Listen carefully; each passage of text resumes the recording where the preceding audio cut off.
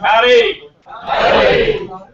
Well, welcome to the end of a very long weekend, to the inaugural edition of Aggies Invent.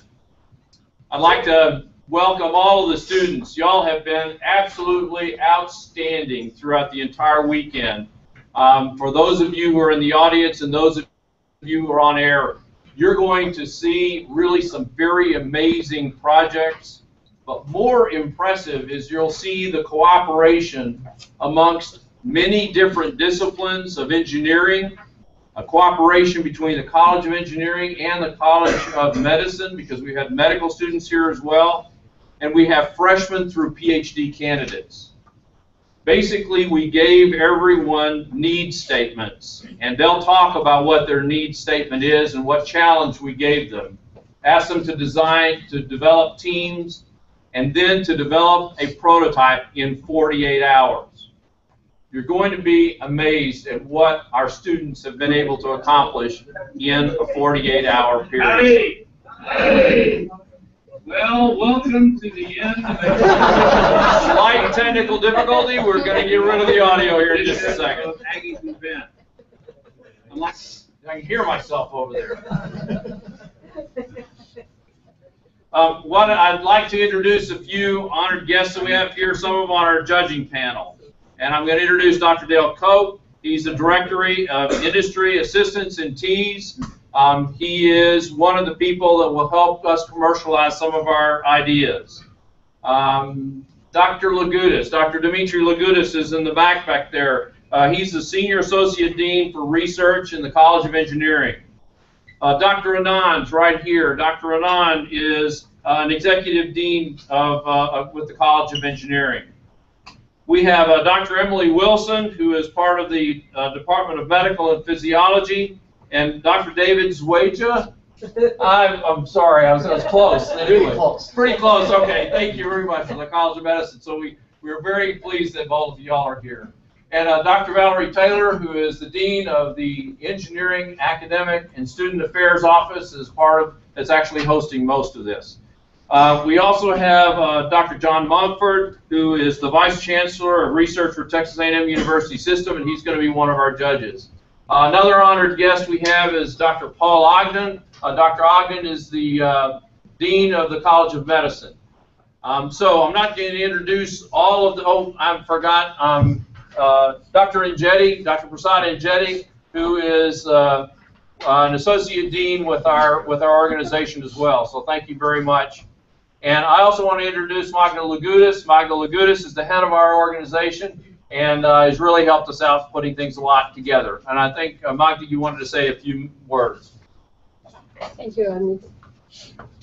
Howdy! Howdy! Uh, first of all, I wanted to thank all the students. This was a dream. Can this work? Would we be able to get some students come here in the summer and spend so many hours with us? And we are excited to see you come, and we're excited to see you work that hard. Some of you stayed until 5.30 in the morning. But then I wanted also to thank the people who helped us pull some of the students from different departments, some of the students from different colleges. I would like to recognize the faculty.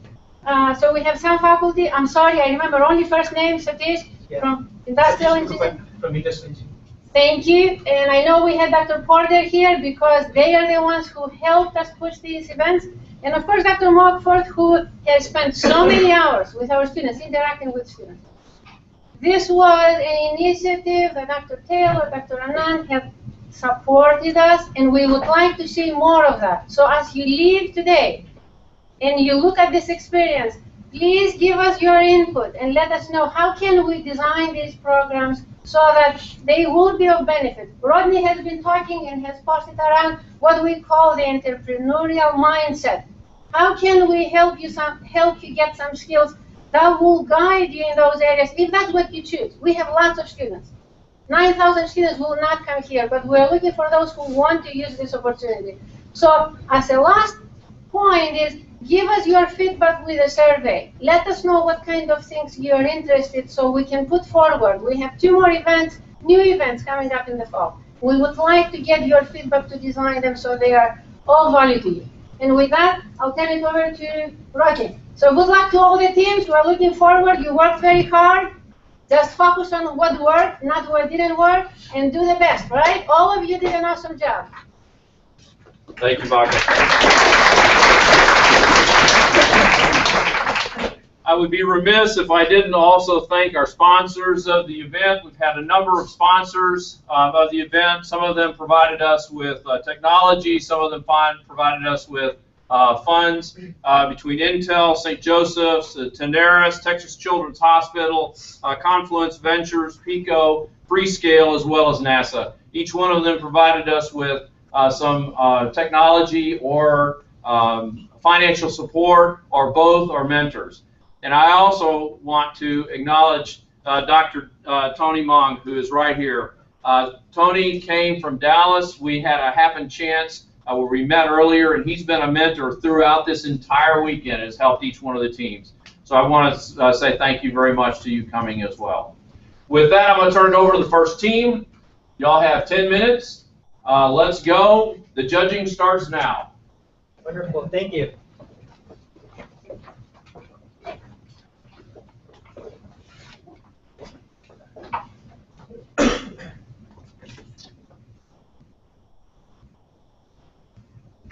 You say the judging starts now? So, hi, uh, thank you guys for giving us this opportunity to put on this presentation. Uh, we are Good Baby. So, the issue at hand. Across the United States, a number of incidents have happened where children have been left trapped inside hot vehicles. Uh, this picture over here is an example of a Life Flight medical team uh, carrying an infant to a hospital. Um, I wanted to start by asking if any of you walked past a car that had a child trapped inside of it, how many of you would not hesitate to break the window? So uh, that actually did happen in this case. Unfortunately, the child passed away uh, shortly after reaching the hospital. Believe it or not, this happened two hours this past Friday before we sat down to talk about this Aggies event. Uh, event. So, um, the cases or the scenarios in which this happens are wide and varied. Uh, there's lots of situations. Every economic class, every social class, uh, people from all across the United States have had this happen to them. Sometimes the child will be sit, sleeping inside of a car seat. Sometimes the child will be playing around inside of the car. There's no standard issue where something like this happens. Inside of a car, the temperature skyrockets pretty rapidly. With environmental temperatures of 85 degrees or higher, if the car is in direct sunlight, the car can reach about 110 degrees Fahrenheit in less than 10 minutes. So a car heats up pretty quickly. Uh, heat stroke uh, happens at about 104 degrees Fahrenheit. So a number of uh, technologies currently exist in order to help remind parents uh, that their child is inside of their vehicle and that they need to be removed. Uh, this ranges from apps to smart car seats to a number of other technologies. The issue is the NHTSA has refused to endorse any of these products. The reason being, a lot of these products are not very reliable. How many of you have been sent a text message by someone only to never receive it? Or how many of you have received a text message only to not check it for a few hours later? What we have done is we've come up with an innovative way of combating this and making sure that as many lives are saved as possible. With that, I'd like to introduce our team. Uh, my name is Yusuf. I am a first year medical student.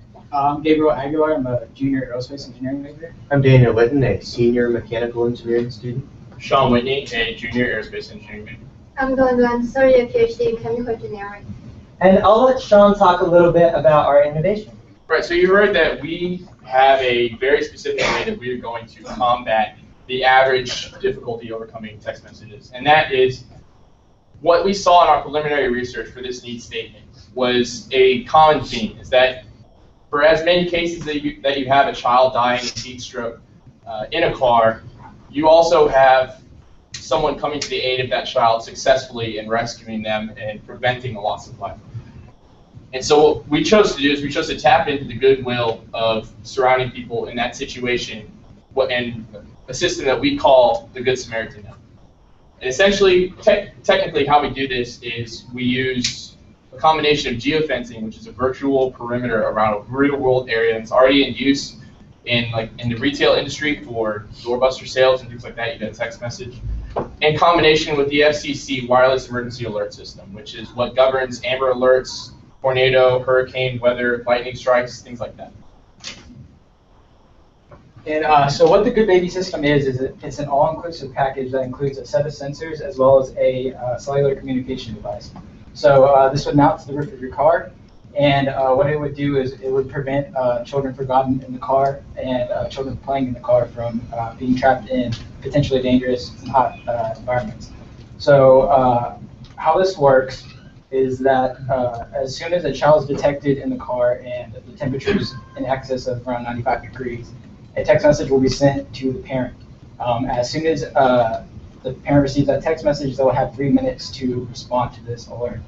Uh, they do not respond within that three-minute time frame. A uh, the emergency services will immediately be notified, and uh, the Good Samaritan Network would be started. And uh, the Good Samaritan Network would be anyone located within the geofence of uh, the Good Baby system.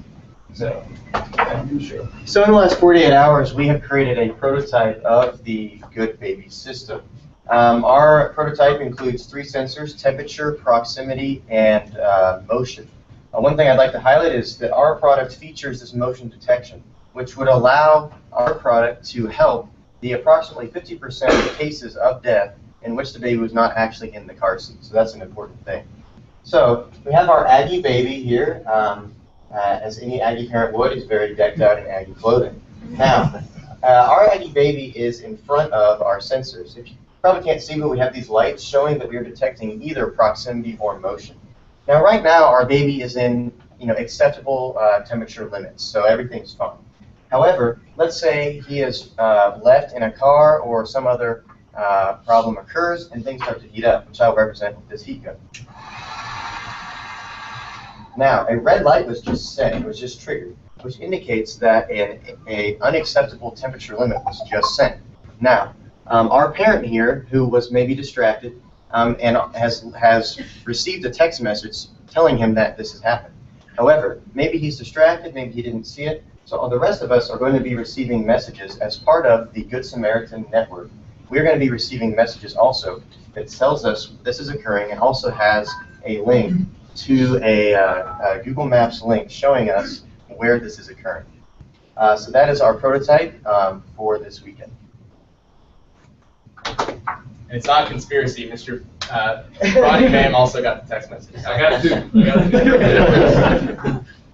Uh, then we then we were planning to extend our alarm system to another three more uh, applications. The first one is subscriber service. We want to uh, we want to involve the cellular network in a particular store like HEB or whatever to involve okay all customer in the store to into our Google metric system to get all of them be potential resource rescue baby from the car. And the second one will be the pet detection. We can integrate our alarm system into a chip or collar wire by your pet or puppy or whatever. So we won't read the sad news, puppy died in hot, in a car, those sad news anymore. And the third one is personal alarm. So a person could find himself in a potential dangerous situation could activate the, our system, our alert system just by wearing a jewelry which has some built-in. So if you can get you can get the help from the people surrounding him more efficiently. So just to tie things together, what we're doing is we're decreasing the chances of children being left in hot cars by increasing the number of people getting uh, an alert and tapping into the natural goodwill of the people around us. So at this time, uh, thank you guys very much for this opportunity once again, and we'd like to open up the floor for questions if we're allowed to do so. Five minutes for questions. Yes. Um, does, does the detection still work while driving? Because if, uh, what would happen if the parent is driving and they're not paying attention to their phone? Would an emergency responder still be sent out for the driving vehicle? Well, assuming, okay, so you probably would be using air conditioning in your vehicle. So the system is only triggered if the, if a critical temperature is reached. If, if you were driving in conditions where it was so hot that it would be dangerous for your child, uh, that would be uh, unusual. Good question. Go ahead. What contingencies do you have if you're not connected to a cell network? Sure. Um, so I guess that is one, you know, limitation of this design. However, we're also interested in, um, one thing that we didn't talk about too much, but we were interested in developing was some sort of prevention network or a prevention system such that maybe it's just a little a buzzer or a light on your door, just so that it's a, you know, a, it's not the best system, but it would just still be a little bit of a visual or auditory indication before you even leave the vehicle. Another possible solution is that installing some type of transmitter inside of a vehicle. Unfortunately, technology will not allow us to do that. Those systems are pretty expensive. Uh, but one would hope in the future perhaps something like that would be possible. To that, to that end also, uh, since the system is also based on external response from people, most likely a mobile network would be present where people are. Like, I believe you had a question? Yes. So you said this is, this will be placed on the inside and the roof of the car? Yes, ma'am. Can you talk about where, I guess, the sensitivity of where it's placed, so it's not so close to the window and things like that? Sure. So yeah, it's, it's important, especially because we're using uh, a motion sensor. We would have to select a sensor that would uh, allow a field of view to cover, um, especially the front two seats of a, of a maybe a normal vehicle. But also, we have to limit it so that it doesn't uh, detect anything outside of the car, because that wouldn't be very useful. So that would be one limitation, for sure. Is So what, um, the thing is, uh, with a little bit of research, any number or any set of sensors could be installed in the vehicle. Our primary in- innovation is that Good Samaritan network. So rather than having uh, the pre-existing systems which only reach out to the parent or some caretaker, we would be reaching out to emergency services and to people in the immediate vicinity of the vehicle. Yes.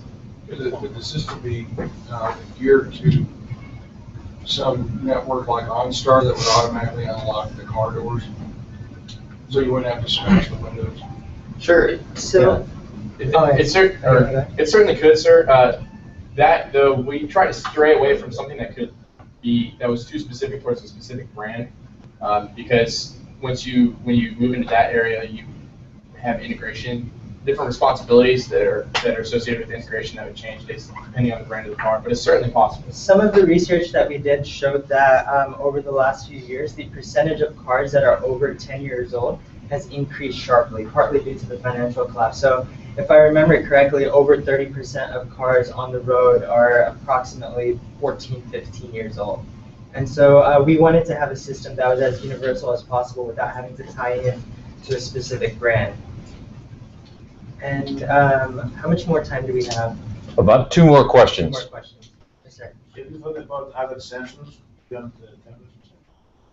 Uh, so, yeah, so I guess as far as the temperature sensor, that would be a good one as far as, you know, a typical problem for monitoring health.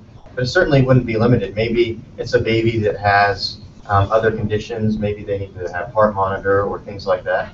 Carbon dioxide sensors could be another one. So, yeah, that would be probably a little bit more difficult to implement, but as far as our general system is together, it could definitely be integrated with any uh, other types of sensors and used in conjunction with the Good Samaritan network. And one more question? Yes, sir. Good job in two days. Thank The you. question I have is uh, about false positives. How do you make sure when a proximity sensor or motion sensor detects something, it's actually it's detecting because there's a baby in the car and not because something is kind of moving as a result of temperature So-?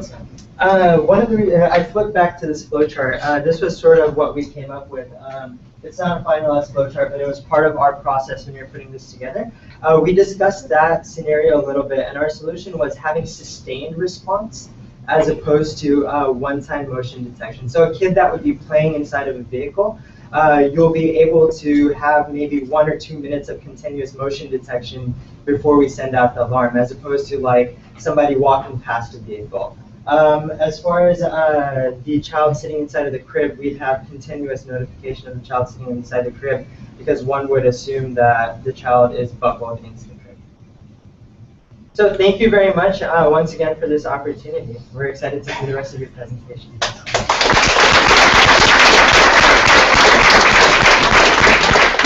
All right, as the next group gets um, set up, I wanted to just also recognize um, uh, Cameron Owens, who's sitting, sitting back there. Cam is from Coralware, and Cameron was also one of our mentors throughout the entire weekend. And Cameron has been just outstanding. Are, are y'all going to come up, or come on, come on, guys? Let's keep let's keep this flowing because uh, we want to keep get through all the presentations. Um, So Cameron's been outstanding and, and has really helped us out tremendously throughout this entire weekend as well.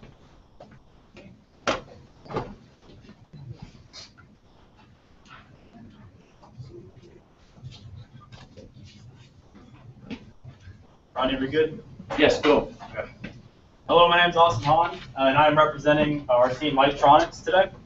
I bet some of you are wondering why we have uh, the T in our name uh, colored blue, and you'll find out soon. So how many of you have ever, have ever experienced impaired performance, poor, poor uh, concentration, headaches, difficulty sleeping, or daytime drowsiness? Uh, my guess is many of us, and especially us students here today. So I bet many of you didn't know that one of the major problems of this is the amount of light our body receives throughout the day. So we're going to talk a little bit today about that problem. Before we get to that, I'd like to go over a brief agenda. We're going to talk about our project overview.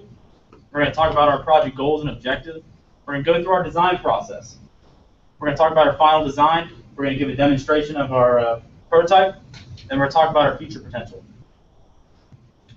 So NASA, one of our sponsors, has set out a need statement for us today, and they are looking for a device to monitor the amount of light in space for maintaining circadian rhythms for their NASA crew members.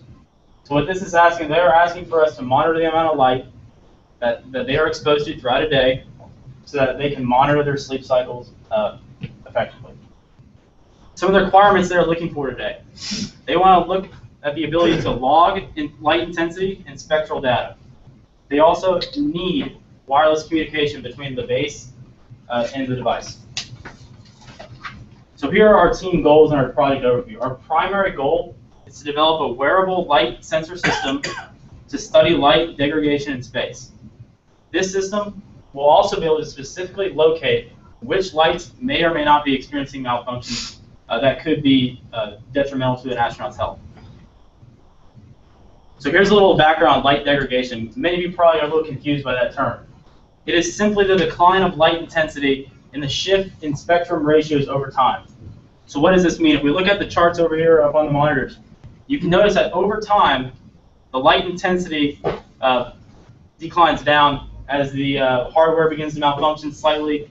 Uh, the key here to notice, though, is that over time, the blue light ratio begins to increase. And blue light ratio is critical in determining uh, mood. Blue light is essential, uh, is essential component of our mood. And the way our bodies react to our circadian rhythm is that our bodies uh, absorb light through the eyes. And that light absorption uh, kind of indicates to our body our sleep cycle and kind of gets us into a routine of, of hormone release. Uh, and many of those things can affect our sleep cycle. And many of these side effects are what I began uh, the presentation with drowsiness, poor concentration, and headaches. So as a group, we took a, a, design process of two phases. The first phase was hardware, software, and development, and the second phase was device packaging.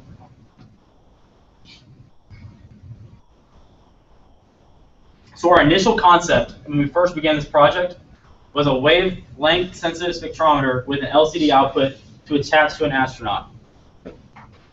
As you can see up here, our first challenge was that we do not actually have the, the sensor that we need to detect the individual color wavelength spectrum. Now that was a bit of a shortcoming we've had, but we've been able to make do with the photoreceptors that we have, the photoresistors that we've had, and we're, well, we are using those as a proof of concept to show what we will be able to do once we have the, the appropriate technology implemented. Another challenge that we came across was the connected LCD display. The problem with this is that we were not able to uh, achieve the seamless transition between the, uh, the device and the base that NASA had required for it. Another issue we came up with was our data interpretation and how uh, we were receiving information from the device and how that was being decoded uh, by the logic system. Another challenge that ties into our packaging issue was the amount of time it took to develop, to develop the circuit board and the space uh, that kind of pushed back our, our development process for the packaging. So here's the breakdown of how our device would work. We have incoming light that goes to the photodetector, and from the photodetector is sent to a microcontroller. Now this is an aspect that makes our product right here uh, unique right here, is that if the device uh, acknowledges that the a lighting is too bright or too dim, it can indicate to the astronaut with a verbal buzz. and indicate the astronaut that they may or may not be experiencing light that could be harmful uh, to their health. So after the light uh, comes in, goes through the microcontroller, it is sent to the transmitter, where it's then wirelessly sent to the receiver.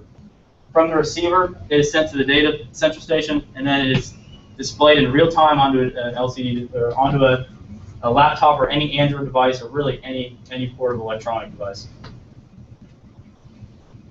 So our initial concept for the package development, one key thing to realize here is that we need to measure the amount of light going into the eyes. So one key to take into consideration is that we needed the product to be located somewhere on the upper chest so that we can get the most accurate representation of what our eyes are seeing. So some consideration we thought of were, were headbands, eyeglasses, uh, magnet attachments, but in the end those were not feasible because they did not provide uh, the wearability that we were looking for. So what we came up today with our prototype, as you can see up here, is, is a device that you can clip onto your body into an optimal location on the chest. And from that optimal location, you can receive uh, the most accurate light sensing. You can also access the hardware uh, through clip ports on the side. And as you can see, it's portable uh, and, and, it's uh, wireless. So I'd like to remind you of some of our project requirements. The first requirement that NASA gave us today is, is our ability to log the light data we needed to log the timestamp, the light intensity, and the light spectrum. Keep in mind that currently we are not able to log the light spectrum because we do not have the appropriate equipment. We're also required to have seamless communication between the central base station uh, and a receiver. And as you can see here, we have uh, been able to achieve that. In a stretch goal that we have set for ourselves is we also want to be able to make the device uh, work so that it can personally identify which lights need to be addressed because of uh, lighting issues. So with that being said, we're going we're going to demonstrate our prototype here.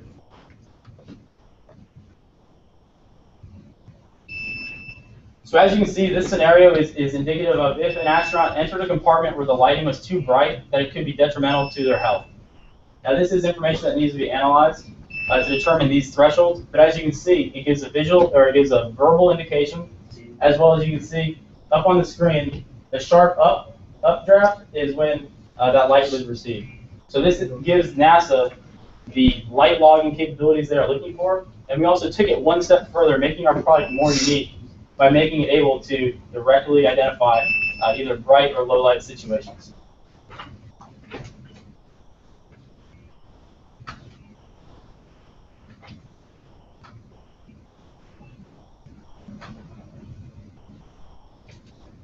So for the future, where do we plan on going uh, from, from this prototype? Where do we, how do we plan on moving forward? The most important thing, uh, most important component we would like to do is we'd like to integrate NASA's data that they already collect on their astronauts, their sleep patterns, vitals, and we'd like to incorporate that, incorporate that into our, our central station so that we can provide an optimal, optimal way to monitor our astronauts' health. Additionally, we have made our product multifunctional, and we can apply this to a diverse market. Most importantly, however, we're going to make it this small.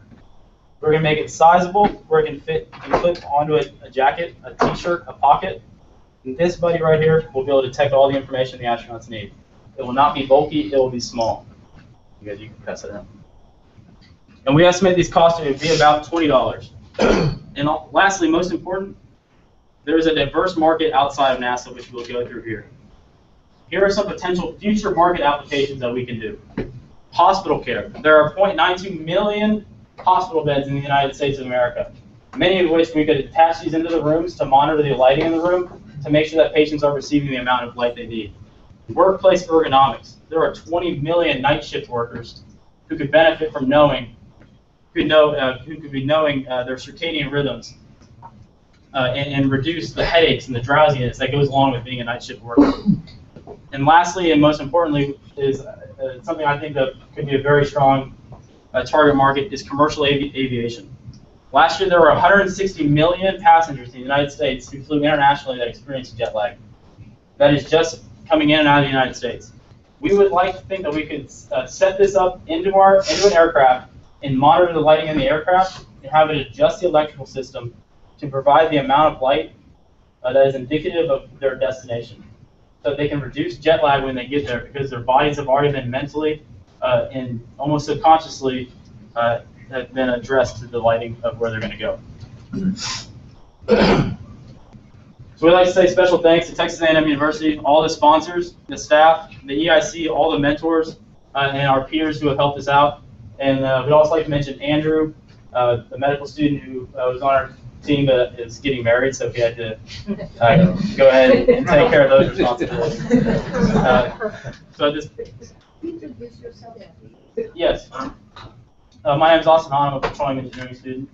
I'm Sam Hubble, mechanical engineering senior. I'm Dharadhar, I'm here in computer engineering. I'm Shmuel. Uh, I'm second year student in uh, computer science. I'm Chance Graves, I'm a junior electrical engineering major. Would you like to open this up to some questions? Do we have time? Okay. Yeah, oh yeah, yeah, you have five minutes. Okay. So why are you designing specialized hardware when your average smartphone has a camera that has enough, gives you enough data in order to implement this? Wouldn't it be easier just to write an app? Um, the the future uh, of this product um, that he mentioned earlier is that it not only um, estimates the intensity of the light, but it also measures the amount of light in uh, each color. So you're going to get a full spectrum, and you're going to know exactly how much light of red, blue, green, and anything in between you're getting. And so I think this is the most important thing for NASA. It's something that's so small it can do just that. Yeah, and, and to touch on that, So, so and, and the most important thing is, you know, it's not just about the intensity you are getting or the spectrum you're getting. The important thing is how can you basically analyze the data and you know predict what hardware might be getting failed. Which is why I'm saying it seems like your software is the important stuff rather than the hardware. I was just curious about what benefits you were getting from that. Well, part of it is that your cell phone's always in your pocket, so it doesn't see very much light, I think. But um, where would this data be streamed to if you're going to be streaming data from small form factor? You know, talking about this. uh, where will the data be streamed to? So so we're basically thinking of designing some application specific integrated circuit that can send the data to the central base station and that can just buffer there. But for like the consumer application, would that just be streamed to their smartphone? No, so so for that kind of purpose, I, I think it should be a bit bigger. It can't be that small. Yes. So to develop the lapel device, does it require developing a sensor that small, or does that sensor exist? No, the sensor needs to be small. The sensor will be small in that, and But uh, do you have to develop that sensor to be that small? You have to develop a new sensor to be that small? Yes. There's not one that exists? no, no, we don't have to develop a new sensor that would be that small. We just have to uh, reconfigure our To- current to- to hardware to be that design small. the small one, we have to basically integrate the small sensor onto an application specific integrated circuit, you know, but then we need a small sensor. Actually, the sensor is very small. The It's sensor is very big, small. Uh, the current hardware provided, uh, if we were to make this product and to make it that small, uh, you can cus- essentially customize and specialize, uh, you know, something that small. Okay. The sensor itself is relatively small. What is that age? Can we send someone that out? Five hundred feet, five hundred feet. 500 feet. Yes, Can we ask them what we just set out? Yeah, yeah, That's the whole yes, thing. Yeah. Can you do it right now? Yeah, we can. Maybe, so there's the base station, I can go over there. Yeah, that, that microscope right there is, uh. Yes, this computer is the is another part that. Can you see it on the screen? Yes, here, let me, uh, let me pull it up. So if I'm, maybe. Oh, okay, because I, I, I have two, two questions. So the analysis, um, so this is very interesting. The analysis that you're talking about doing where you can get feedback based upon the lighting, is that analysis something that's done at the base station? That there would be some communication back? or- Okay. Okay. Um, yes, actually, uh, quite a bit of research needs to go in because um, as we're working through this project, we realized each person needs to have their own set of uh, ranges of colors that they need to take in. Um, so on the like on Earth, they're going to need to do a lot of training, a lot of research into okay, I, my sleep patterns go down when I experience this and this blue light, and they're going to have to refine and adjust and adjust. Uh, this the, the sensor to each person.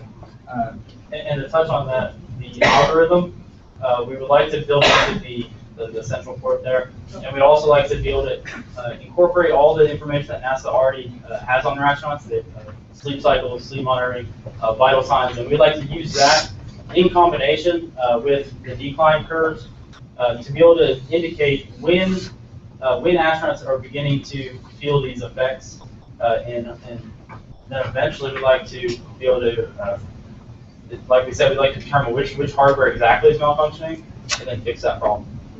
And then it could be, the sensor could be something that's attached to something like a lanyard, so it's not where it has to be a pocket or Right, anything like that. For for the NASA application, it needs to be uh, attached to the human body because the G-force failure, the uh, Gotta be yeah, the- yeah, zero. Gs. Uh, and we chose the chest because any other location you're not getting the accurate representation of your eyes. Because the key here is the light into your eyes. Because when the light goes into your eyes, it affects your optic nerve, and from there it determines, um, as Andrew was going to go to, it determines the like hormone. It affects your mood, your melatonin. It releases melatonin in your brain and affects your mood mostly. So that's why we're centralizing around the eyes and the upper area of uh, the body. Okay, thanks very Thank much. you guys. Thank you so much. All right, we've got the next group that's coming up. Uh, This is a uh, challenge that was given to us by Baylor Scott and White. It has to do with uh, pelvic floor muscles. I'll have the team um, explain them. As they're setting up, though, I do want to acknowledge another person, and that's uh, Jim Wilson. Uh, I don't know if Jim's still in the background, but Jim, there he is in the very back. This facility is run by Jim. We are his guests at this facility, and Jim has done an outstanding job of supporting us throughout the entire time uh, with this entire weekend. He's had a couple of folks help him, uh, Todd Williams, our machinist, as well as Chris Jones, uh, one of the one of the uh, technicians here who's helping us build circuit boards. So the support that we've had throughout this weekend by all those individuals has simply been outstanding. Thank you.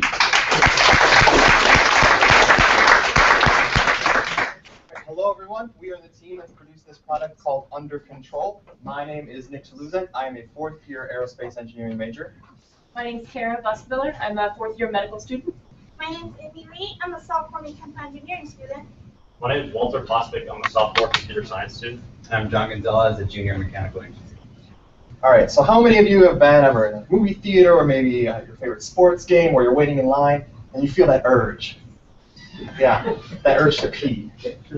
So then you have to make that decision of whether to hold it in or maybe you'll miss out on something when you leave. Some people don't get to make that choice. They have difficulties controlling their pelvic floor muscles, which will then control their urinary or fecal use. And with that, they come in all different shapes, sizes, ages. There's a wide variety of people that face this challenge of controlling their pelvic floor muscles, and they face challenges in their daily routine.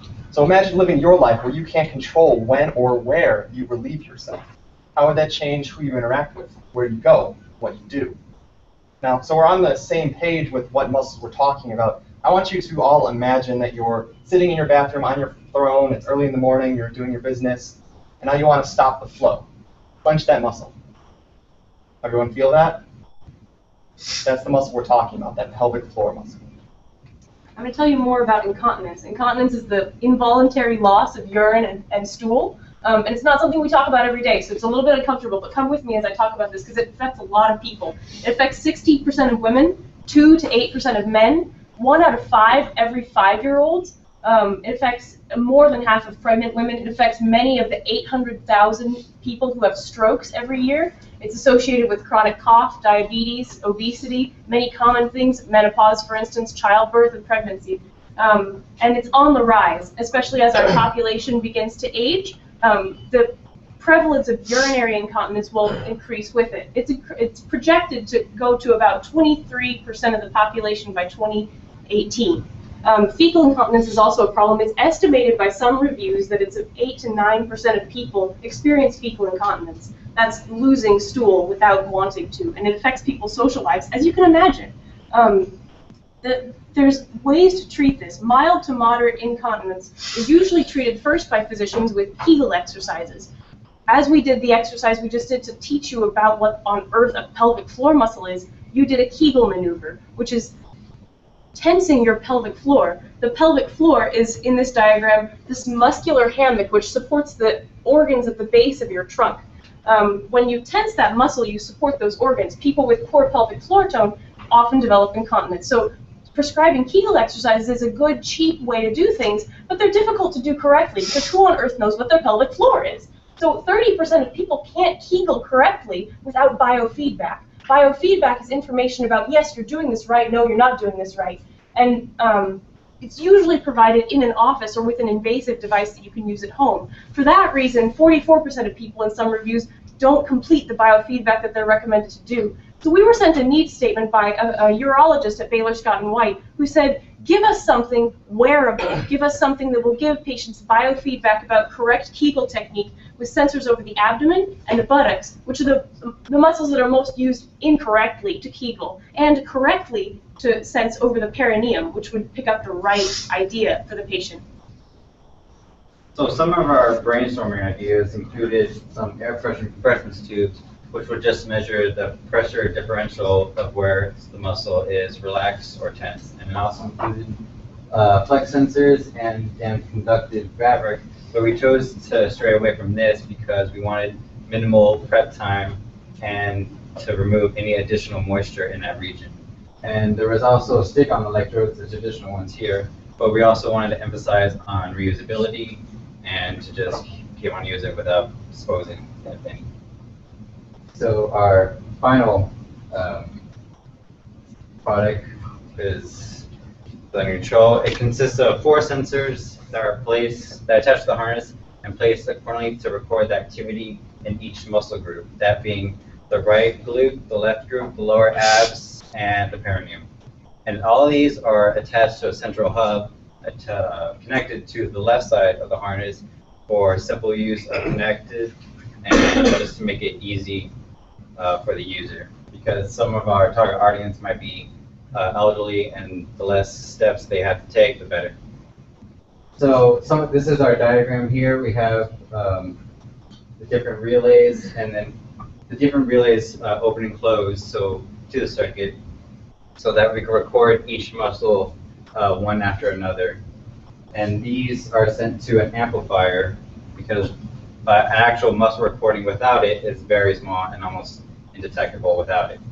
So once we had that, it was connected to each one, and then all of these are connected to the microcontroller, and this uh, receives all the data and then displays it onto the screen to tell the user if it's the muscle is flexed or relaxed, and all this is conveniently placed in the box. So right now I'm going to talk a little bit about our actual design. So our actual design contains two parts, and they are both designed to be very user uh, user friendly. Um, the first part is the garment part, as you can see, uh, where um, these are made of straps, and uh, it's fabric, so it's very comfortable to wear compared to other material. Um, and um, uh, it, it was designed to be unisex, um, they can be easily adjusted for um, for, for both women and men, um, and they can also be adjusted for people with different ages, body sizes, um, and our centroid um, is placed right here um, because these are very stretchy. So our our electrodes are our electrodes can be held against the skin very tightly, um, and um, we um, the, these are placed located at the abs um, and both right and left glutes and the um, perineum over over there. Um, and um, we use wire instead of uh, electronic electronics, so um, our material is totally waterproof and you can hand wash it. Um, and with that being said, um, our second part of the design um, is a handheld unit. So you connect this connector over there, and the user will be able to hold it. And um, we have a screen over here, and we have different openings for different users, and um, we have switches. Um, users can uh, will be able to switch modes, um, and those modes um, they were already coded inside the box. And on the screen, as you can see, is our actual 3D printing model. And um, the model is uh, more refined and um, it's way more smaller. It's like um, the hand of uh, the size of your hand, and it, it is very light. So the user will be able to um, use use our model to hold it and read it very easily. A little bit about the software used. We used a very short, quick brute force approach with lots of if and else statements.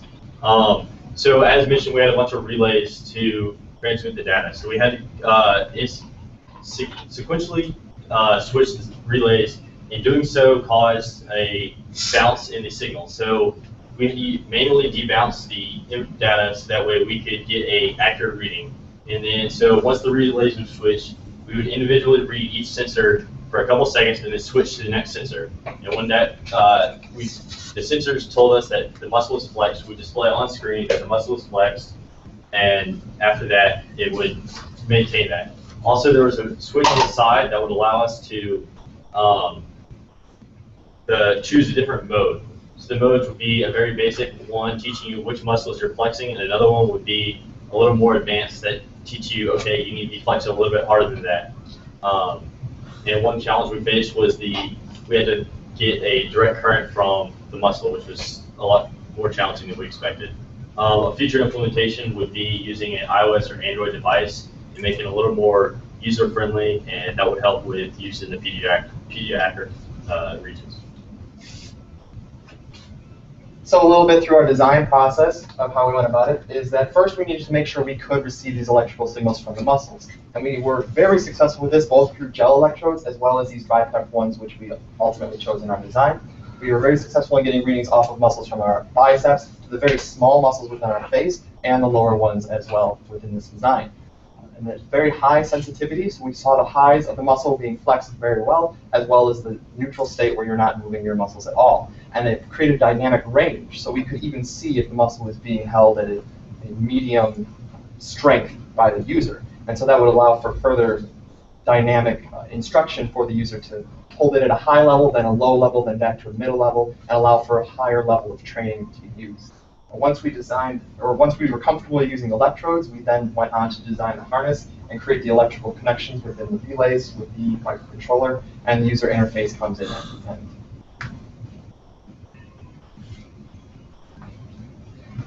Um, so are we ready to, to release this to the public? Almost. Um, we're successful with the EMG. Um, as he uh, explained, we're successful with uh, dynamic um, um, work. And I'm really excited about this design because it's, it's uh, wearable, reinforcing a correct technique. It's easy to use at home. It's low pressure for the patient.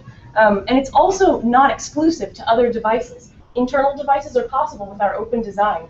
Being uh, with a physician, um, and in, uh, in uh, clinical biofeedback is possible with this design as well. Being in um, adult diapers is possible. Being um, it, in many situations is also possible with our design. And so I'm really looking forward to the impact that this has for patients. I'm going into obstetrics and gynecology in less than a year, and I can't wait to use this. So I'm really happy that we were able to share this with you today, and um, we'll now open the floor to questions. Um, oh, sorry, I forgot um, just about what's next. Um, we'll create a completed prototype, hopefully replacing the wire with a conductive thread, connecting to smartphones as already was stated. And um, next we'll look for cost effectiveness clinically, and um, then move on to funner things like designing garments for different audiences and things like that. Um, thank you for your time and for your, for your attention.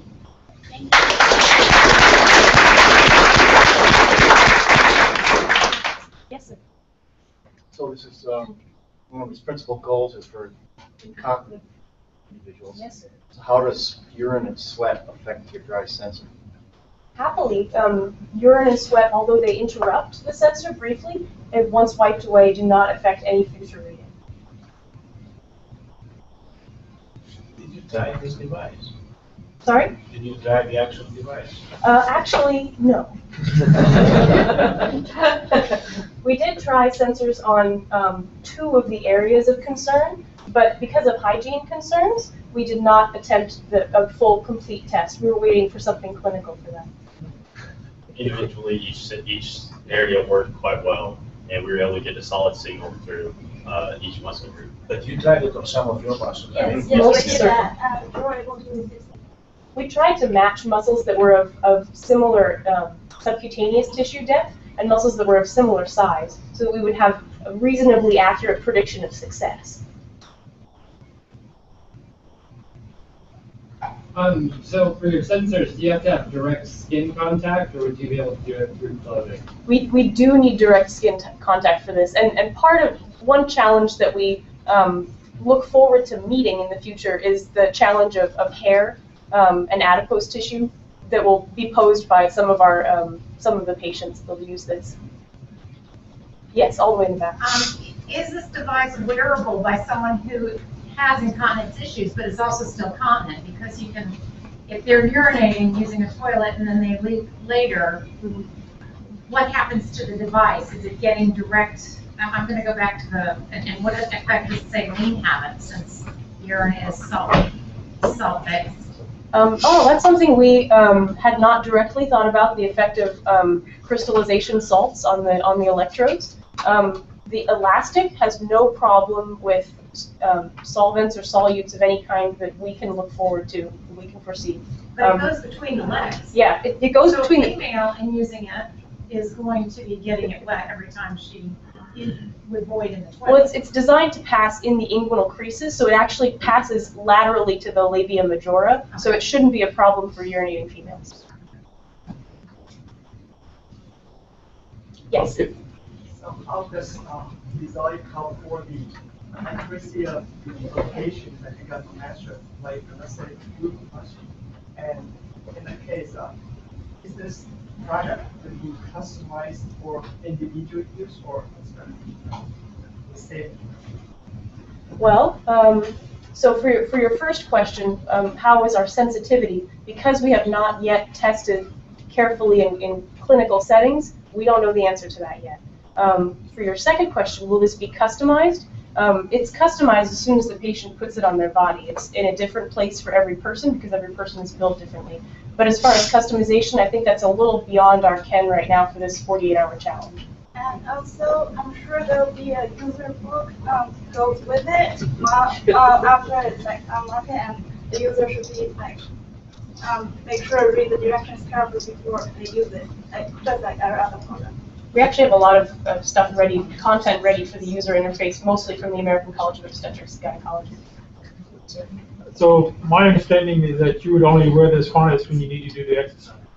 Am I, is that correct? Correct. You don't wear it continuously. Well, it, it's up to the user because the exercises are often recommended in the first few weeks of teaching to be done three times a day for a set period of time. So it may be convenient for the user to keep it on all day and just do that three times a day when they're in the bathroom. Or they may hate it and want to take it off as soon as they're done. One more question. Yes, sir. What, what is the process for approvals? I was thinking, will it make a difference if it is uh, attached to the body or with garments in between? How much, what is the process for approving this device? For FDA approval? For FDA. I'm not sure. For this type of device, I do not know. I look forward to finding out. Okay, thank you all very much. Thank you. While the next team's getting set up, I just have, as you can tell, there's an awful lot of thank yous to go around. But we had student workers that were working throughout the day yesterday and actually stayed around all night. We had the facility open 24 hours a day starting yesterday morning, and our student workers helped us out by sticking around. And I want to acknowledge both Matt, who stayed here all night, Paloma, David, and uh, Ratika, who actually put together some of the things for us. So thank you very much for y'all being here. Whenever y'all are ready, take off.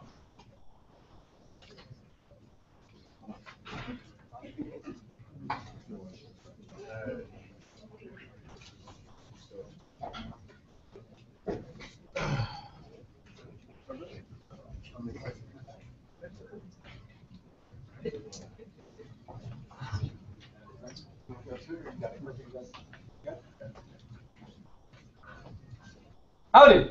Hi. So, ladies and gentlemen, uh, I'm Neji Beya from the Industrial Engineering Department. I'm Armin, Industrial Engineering Department. Uh, I'm Skorup, I'm from the Industrial Engineering Department. Uh, I'm Hua, I'm from the electrical engineering department. I'm Emre from the Electrical Engineering Department. I'm Shayok, also electrical. And our project is TAS. It's a tactile apnea alert system. And uh, first of all, we'd like to take you into the environment that we uh, that this device will be used in. So uh, first of all, let's go to the let's go to the cath room. So the cath room is like a surgery room. Uh, it is usually used for minor surgeries, so it's like a dentist's office. So I'm sure most of you have had your wisdom teeth taken. So that's where usually you, you take them. Now, uh, if we go in and we check out what a doctor would see, we see a lot of monitors going on.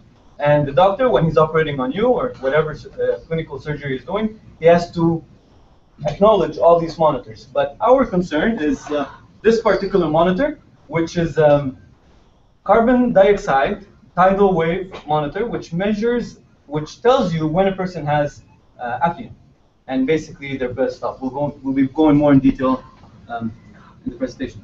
So, what Baylor, Scott, and White want us to do, they want us to create a tertiary alarm system that tells the doctor that a person's having apnea.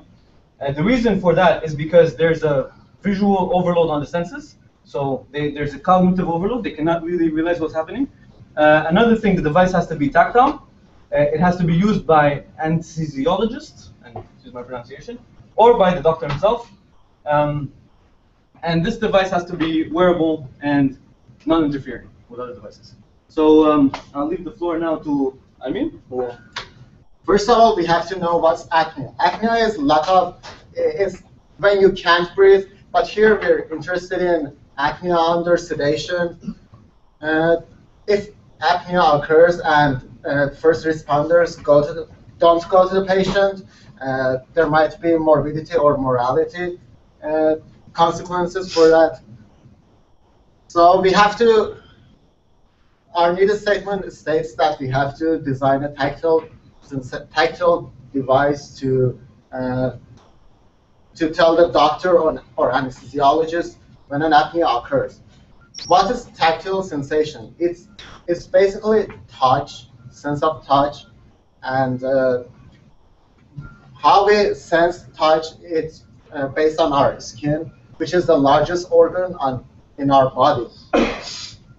Based on uh, multiple resource, resources, theory, we have uh, we have an we have visual and auditory alarm, but uh, if we add a tertiary system which is tactile, it might reduce, it, it's gonna reduce the uh, workload of, of the person operating, and it's gonna improve the multitasking of doctor and anesthesiologist.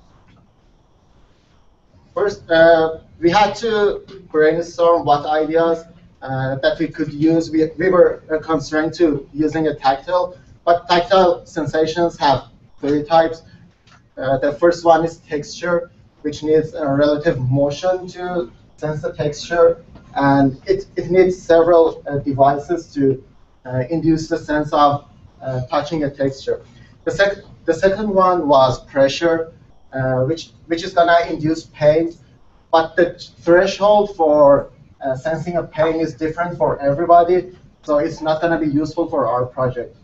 The best one for us was vibration, which has been uh, lots of studies has been done in this area, but there hasn't been a commercial product for vibration. Uh, so I'm going to take over the actual design that we actually went for. So here you can see uh, a 3D model of what we aimed at building, and uh, this is the actual prototype I'm wearing. Uh, it's fully functional, and we actually got it to test under all conditions. And uh, I'll go over like the main components of it. So as you can see, um, we have an armband basically, uh, which has got four uh, vibrating motors, which are also called tactors. So these four motors are placed in contact with the skin on the underlayer of the armband. Uh, so this basically forms the most important part. So every time uh, there is a signal of apnea or reduced breath rate, these motors are going to uh, indicate towards an alarm, and that's how you basically inform the doctor. We also integrated an LCD screen, uh, a button, and LED displays. Uh, these were mostly for a secondary use. We are actually targeting towards um, two main markets. The first one is going to be an anesthesiologist. So an anesthesiologist is basically involved in uh, really in bigger operations and uh, this is a condition where you have multiple alarms and multiple fact, of vitals being measured. And uh, so in such a scenario, if a person goes into apnea, we can imagine a lot of alarms being set off, which can be the heart rate monitor, the ECG, and it is very difficult to understand what alarm is related to what. And uh, it creates a sense of uh, sensory overload. So that's why we decided to use the tactile channel so that you give a personalized message to the doctor himself, uh, to the anesthesiologist himself, uh, who recognizes the signal and uh, can take necessary actions. Uh, but then the basic signal that I think we can approach is Uh, just to doctors uh, who perform smaller surgeries, uh, basically in their own clinics. And so what we want to do is design a modular system which can go onto your arm, your legs, or even on your torso. And these would basically inform you of uh, if a person is going into apnea. So these are just alarm systems, so if a person's into apnea, his vibrator starts going on. And these vibrations are very similar to what we have on our phones. So it's not something that is going to be discomforting or causing any pain. Uh. Uh, so how we went about it is by placing four tactors. Uh, we placed them about 50 millimeters apart. And this basically gives the sensation of detecting each signal as a different signal. If they were any closer, if two tactors went off next to each other, we'd still notice them to be the same ones. What we thought is special about our system is we're using different vibration patterns to depict different states, uh, which will be carried out in the next, next few slides. But then we thought of using a backlit LED display. Because every time an alarm goes off on your hand, the natural tendency is to see what's going on. So you would move your hand up. And the LCD display would actually display the patient's vitals on your hand itself. Moving on to the uh, different states that we define. Well, uh, we define four different type of uh, breath uh, states. The first one we um, define the normal state, which um, breath like um, 8 to 16 breaths per minute, and then which will have a short parts in one um, uh, 10 seconds, uh, every 10 seconds. And then the second one will be the reduced um, breathing state, which will generate um, 4 to 8 breaths per minute, and then it will um, generate two um, vibrators, two at a time, and uh, it will buzz every 10 seconds. The next one will be the critical states. It will um, it will breath by um, will define one to four breaths per minute, and the it will give a pattern to um, vibrate each at a time. So um, it will last like um, it will repeat after 30 seconds, and then you will have a uh, press um, push button to pause it. And then the next last one will be the um, apnea state, um, which will um, repeat um, four of the um, tactors together, and it will last 30 seconds. Right, so a brief overview of how the software on our Arduino board, uh, what it actually does, is essentially we thought the easiest way to program this was to set up a state diagram where each state is obviously represented by the press per um, one of the challenges we had was actually sort of simulating um, real life variations in breathing rates. Um, so we, we don't actually have the input uh, from the CO2 monitoring device uh, to trigger our system. So we sort of try to come up with a way to um, simulate uh, normal breathing. So essentially, how it begins, um, you start normal breathing, and it tracks your uh, breathing rate and uh, puts you in a state according to what breathing rate you have. Um, each state triggers the vibrating sensors according to the pattern that you need to. So after, um, with the help of Amne and after we got the um, Arduino coded for to run a script that uh, generated a CO2 and tidal input, so that simulates it. Um, we have to set up the rest of the hardware system. So obviously, to do that, we have to um, integrate the four tactiles and tactile uh, vibro, motors. And to do that, um, we use the two tactiles, but we use two transistors, and um, obviously to make it wearable, we um, integrated it with a 9 volt battery to run everything. And then from that, uh, from the Arduino, we uh, simply triggered the tactiles at the specific instances in time and the patterns that were described by Juan. Um, so after that, so it obviously the tactile output goes to the arms, and once again, it will trigger and vibrate at the specific patterns dependent upon the uh, state you're in. So we have a short demonstration of how the system actually works. Um, here are our vibrators, and we didn't really want to include them in the in the sleeve here because it's a little bit difficult to hear and see vibration um, from within the sleeve. So uh, the script running this will actually just take it directly through normal, reduced, and very low breathing and apnea state um, just for testing.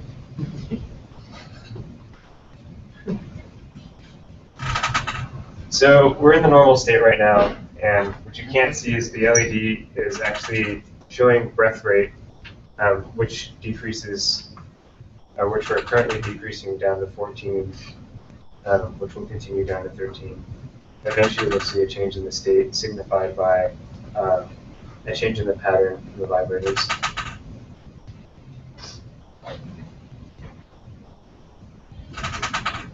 Sorry, this could take a while. I apologize. Apnea doesn't happen. Yeah. It's a Are you going through apnea now? No. So how we decided to build the system was to have a, a continuous input and also an alarm-based system. So what happens here is the base, the doctor is basically informed about a continuous alarm, giving him the current status of the patient. So in the first state, which is normal breathing, he's just getting a single buzz, which informs him, patient is all right, you don't need to worry about anything, it's just a regular buzz. Once the buzz, uh, uh, breath rate starts to decrease, uh, he reaches a slightly decreased mode, where we have two buzzes going on. That's an apnea. That's what apnea looks like. And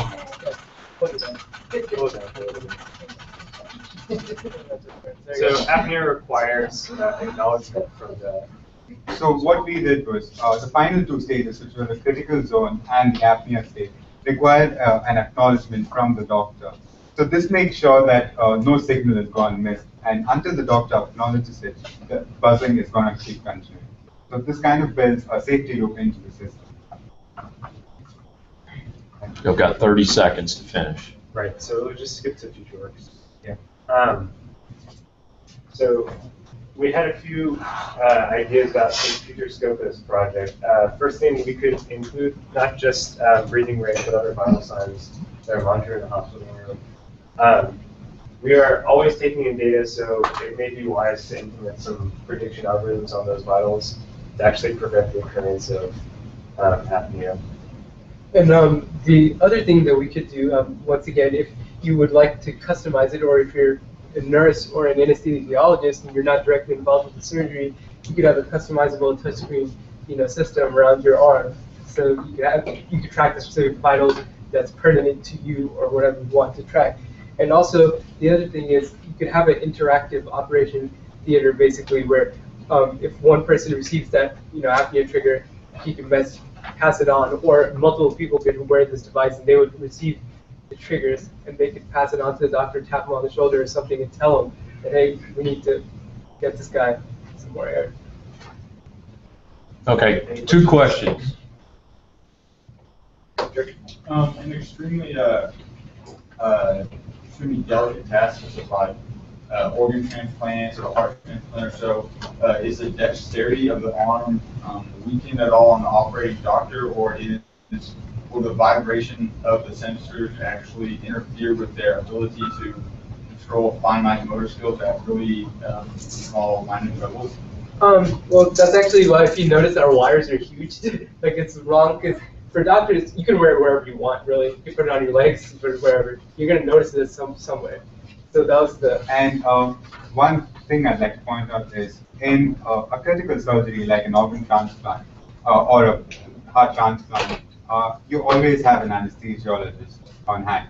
And uh, the anesthesiologist is basically there to track the patient's vitals. And so by informing him, he's basically kept in the So it seems like one of the challenges you identified was sensory overload.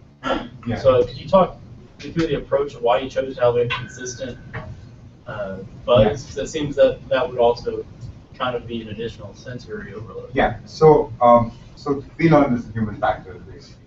And uh, so basically multiple resource theory defines that um, we, we all have five senses, as you know, and the most used are going to be vision and auditory.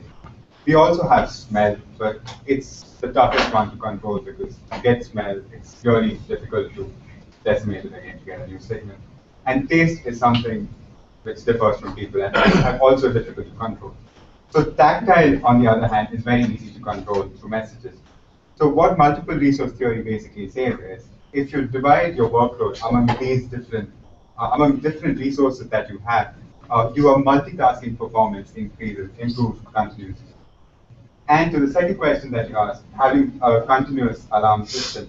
So uh, they had a lab uh, study uh, which basically studied the same patterns where uh, they had single alarms going off when only the person was in uh, critical condition, or they had a continuous alarm, or they had a hybrid system which basically integrated both similar to us.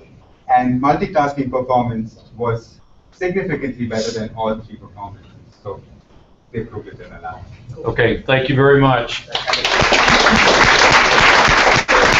All right, if we could quickly switch teams, uh, we're getting, we're getting pressed for time. Um, we're gonna, we're gonna continue on, so y'all keep moving, please.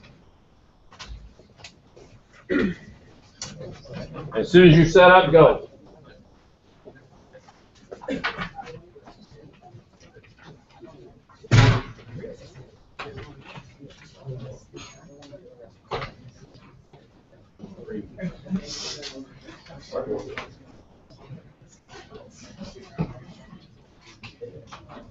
Well, good afternoon, ladies and gentlemen.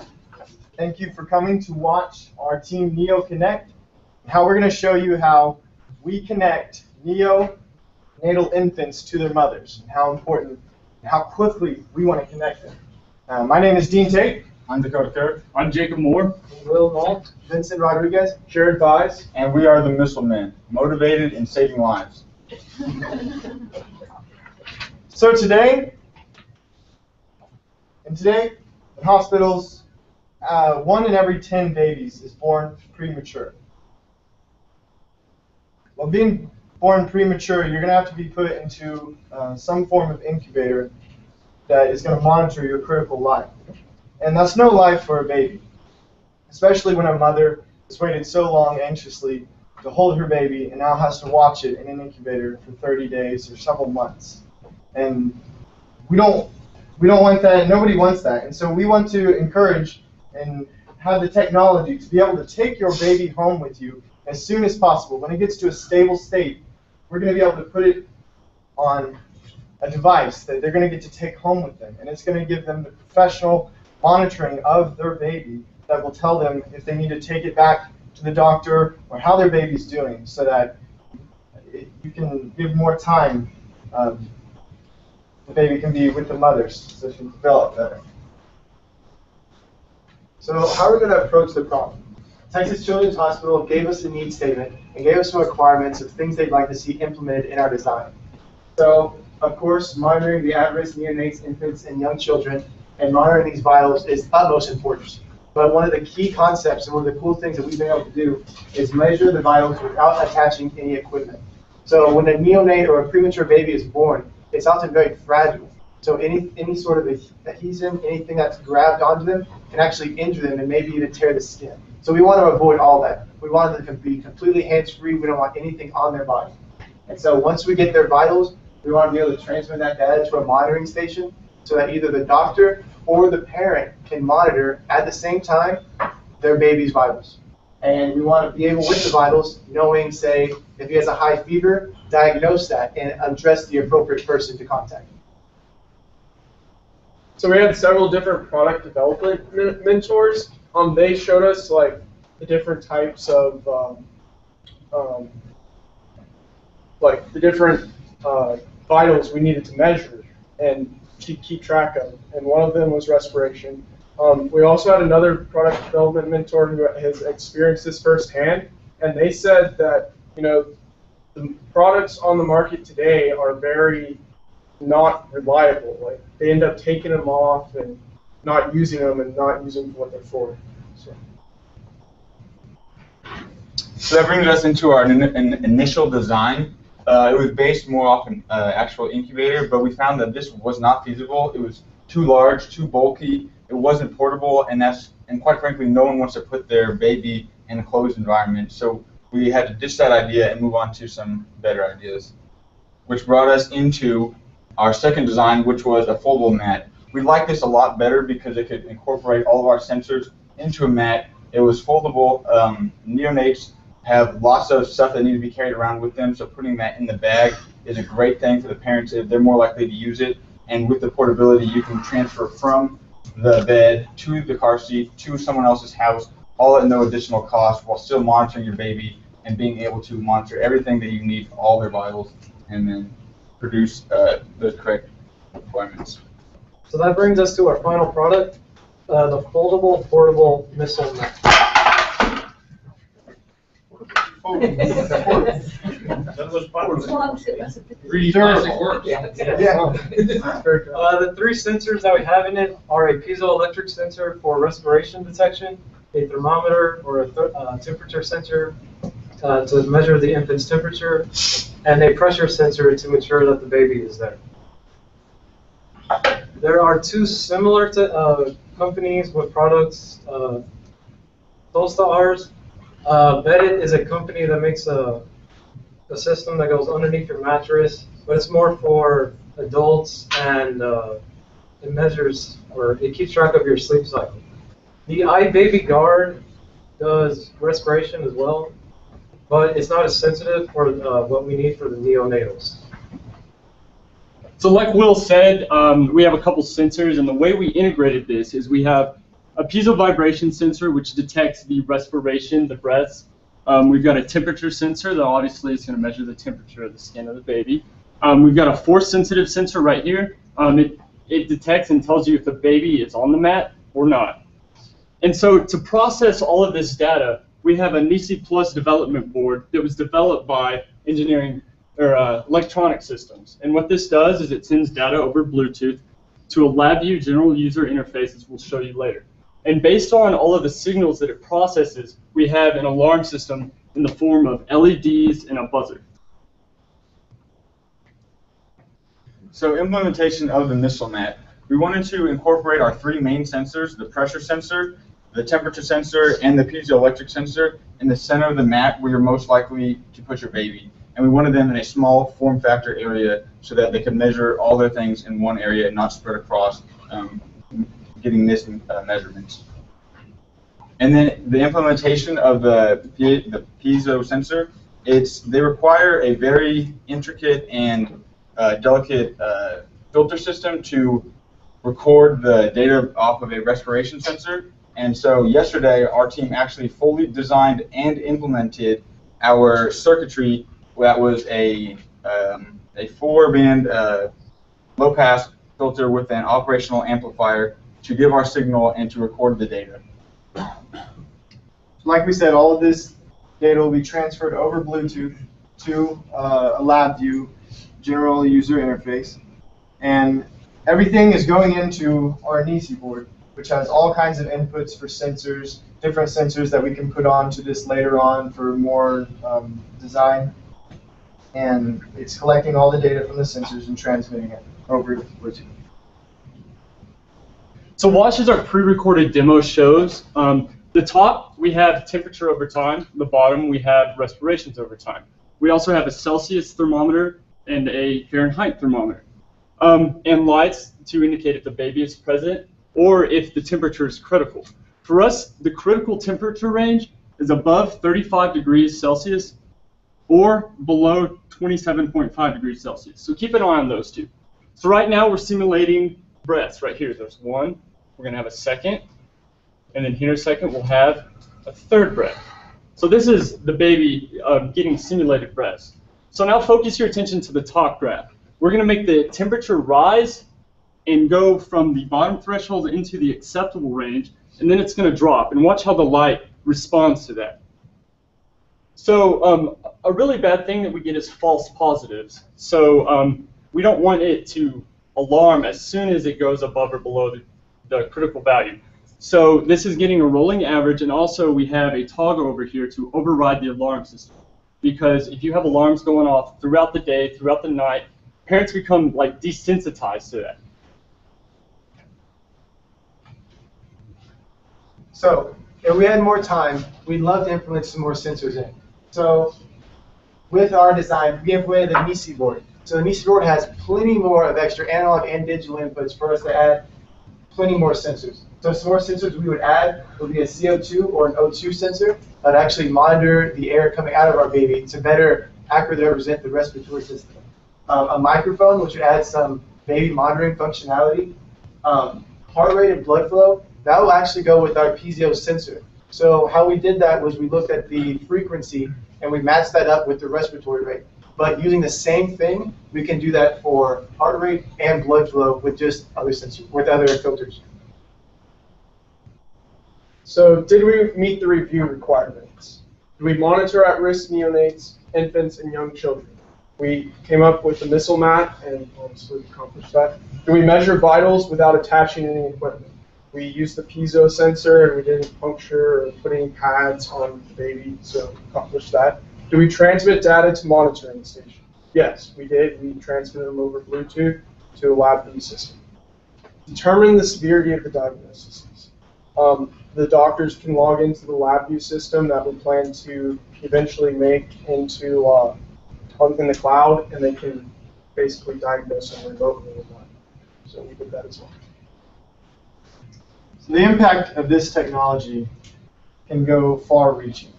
Our first market is for neonatal infants because you got highly calibrated sensors to detect them, and with one in every 10 babies born, that's a huge market. And we can help a lot of babies here. And also, to expand, we can also put these mats into every single um, bedding into hospitals all over the place. So no longer will you have to have sensors plugged in all over your arms and your fingers. You'll just have a mat that you can lay down on. So we believe that this technology could be very powerful for the future in helping. Thank you very much for listening to us, and we would like to take any questions right now.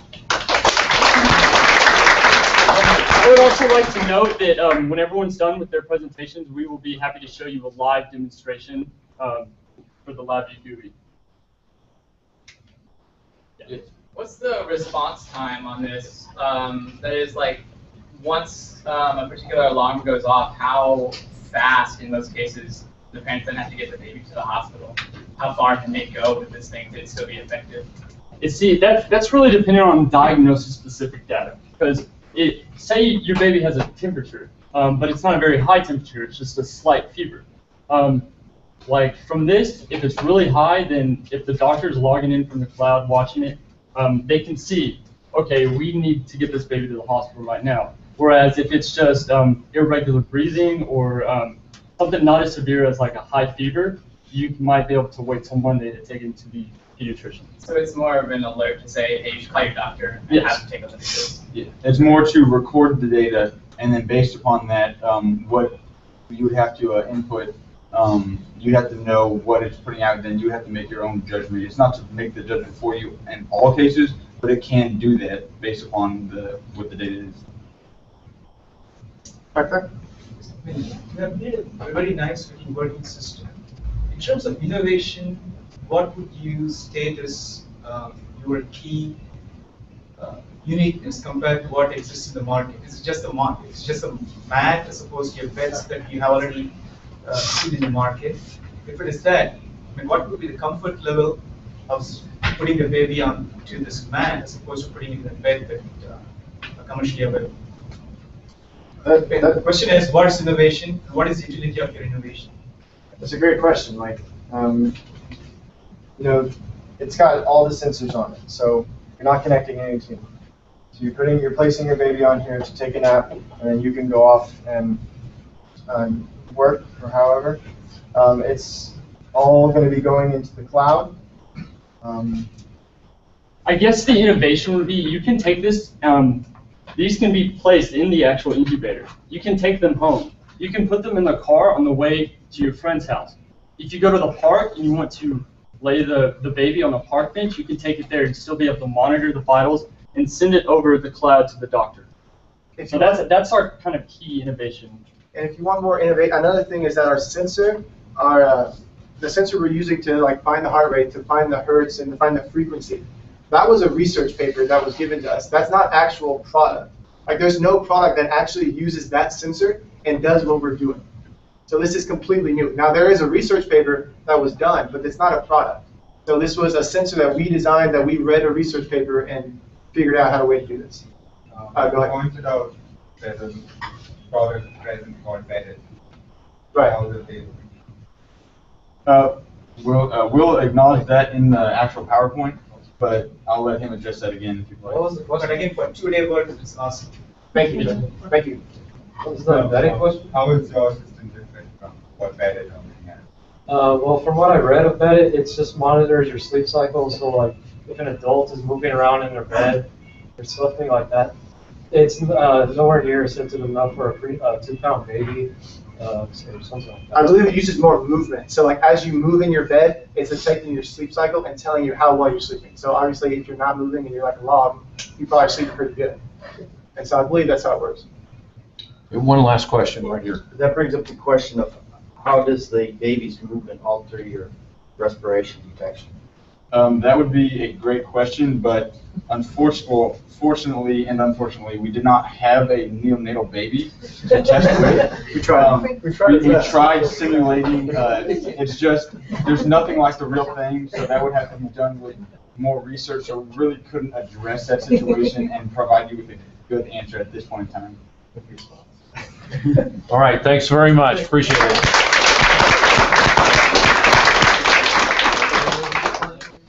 All right, next team.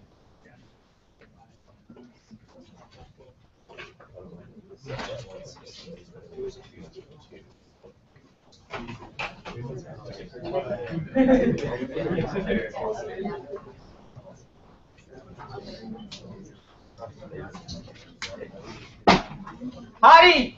Uh, my name is Salah Khurshid, and I'm an aerospace engineering and a physics major. And I'll let the rest of the team introduce themselves. My name is Jasveer Batra, and I'm a PhD student in electrical engineering. I'm Yogesh Babar. I'm a PhD student in aerospace engineering. I'm Ryan Gates. I'm a uh, senior computer science major. I'm Saurabh Mishra, and I'm a senior computer engineering major. I'm Alap Shankar, and I'm a senior mechanical engineering major. Okay. So a fact that we recognize today, and the dinosaurs failed to recognize, was that is that Earth is a finite planet. The resources are finite, and we as humans are on a fast track for exploration of different planets and asteroids for resources or an alternative habitat. But the fact of the matter is that the best propulsion technologies that we have today are extremely slow. So the astronauts are going to be in space for a really long, long time if you want to go to another planet. Examples being Mars. At best, we're eight months away from Mars. If you want to go another close by uh, place that we know about is Titan. That's the Saturn's moon. It's over two years away from us. So we're putting astronauts at risk by putting them in space for an extended period of time. And this calls for innovation in medical technology so that we can monitor the uh, health specifics of these astronauts. A good thing about these innovations is that they usually roll out into the market for general public use. Examples in the past being MRI and CAT scans that were developed for space missions. So particularly this time, NASA wanted us to take up one of their ECG scanning systems and be able to design a harness that can fit all the astronauts on, on a space mission for an extended period of time and monitor their vitals. What we went ahead and integrated in it was this harness could be integrated into different biomedical sensors that can detect a specific, uh, specific or a general, uh, general health condition on an astronaut. And to introduce the pro- problem in detail, I'll let Jessica take over. All right, thank you for the introduction. So as we go into the deep, um, deep space missions that are long term, we require monitoring the ECG on the astronauts for a long, extended period of time. Um, and the, the way NASA is doing that right now is, uh, which we'll also talk about later, but they have certain devices that can already do that, and they use this certain hardware that they provide us with. This device that basically takes signals from the electrodes and sends to this device that wirelessly then transmits it to either through a computer or another system. So what they wanted us to do was design a vest or a system that can be uh, that can fit to any size. So right now, something they're using is very specific to each user. So something that is user friendly, um, especially going into long uh, long-term missions where the payload is uh, concerned. So you need to design something that can be used by anyone and everyone and should be able to fit into what they already provide to us. So ours was not as much of an electronics project that other groups have done. Ours was designing something that can integrate with what they already have.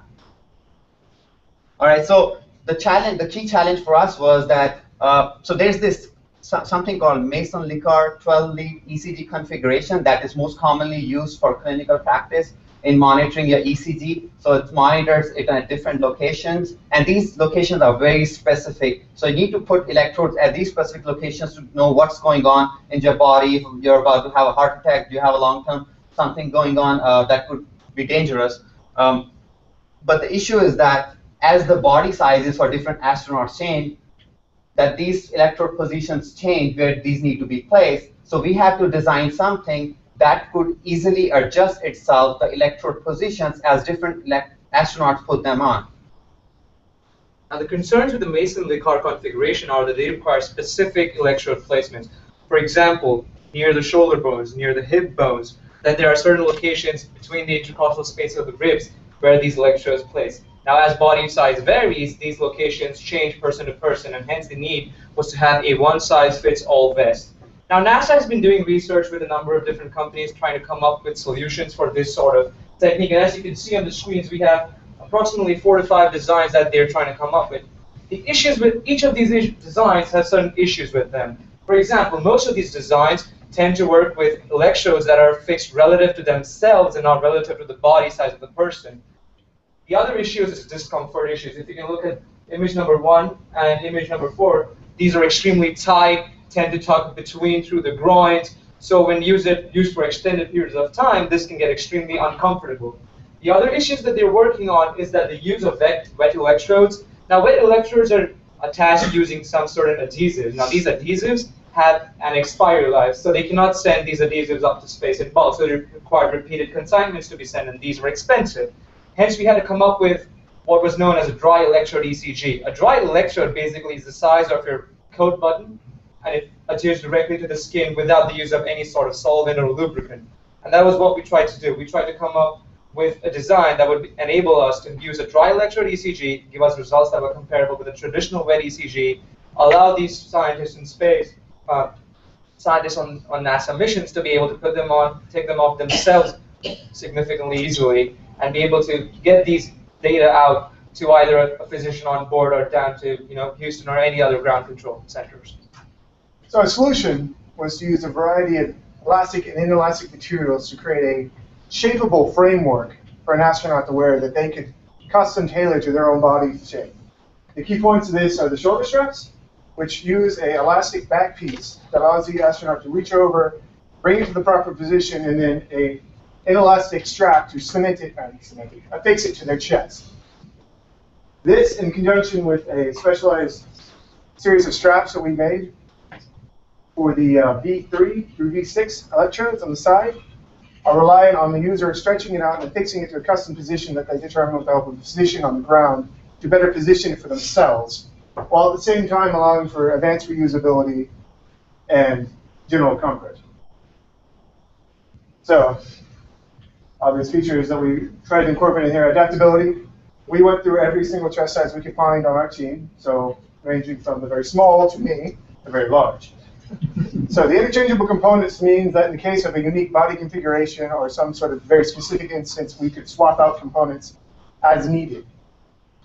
Uh, accurate placement. Now this is going to take a little practice for the accurate placement to be done, but our assumption is that it, once you do it a couple times, it becomes old hat and you're able to rapidly repeat the same placement of these straps for yourself while being able to share it with you and your astronaut buddies.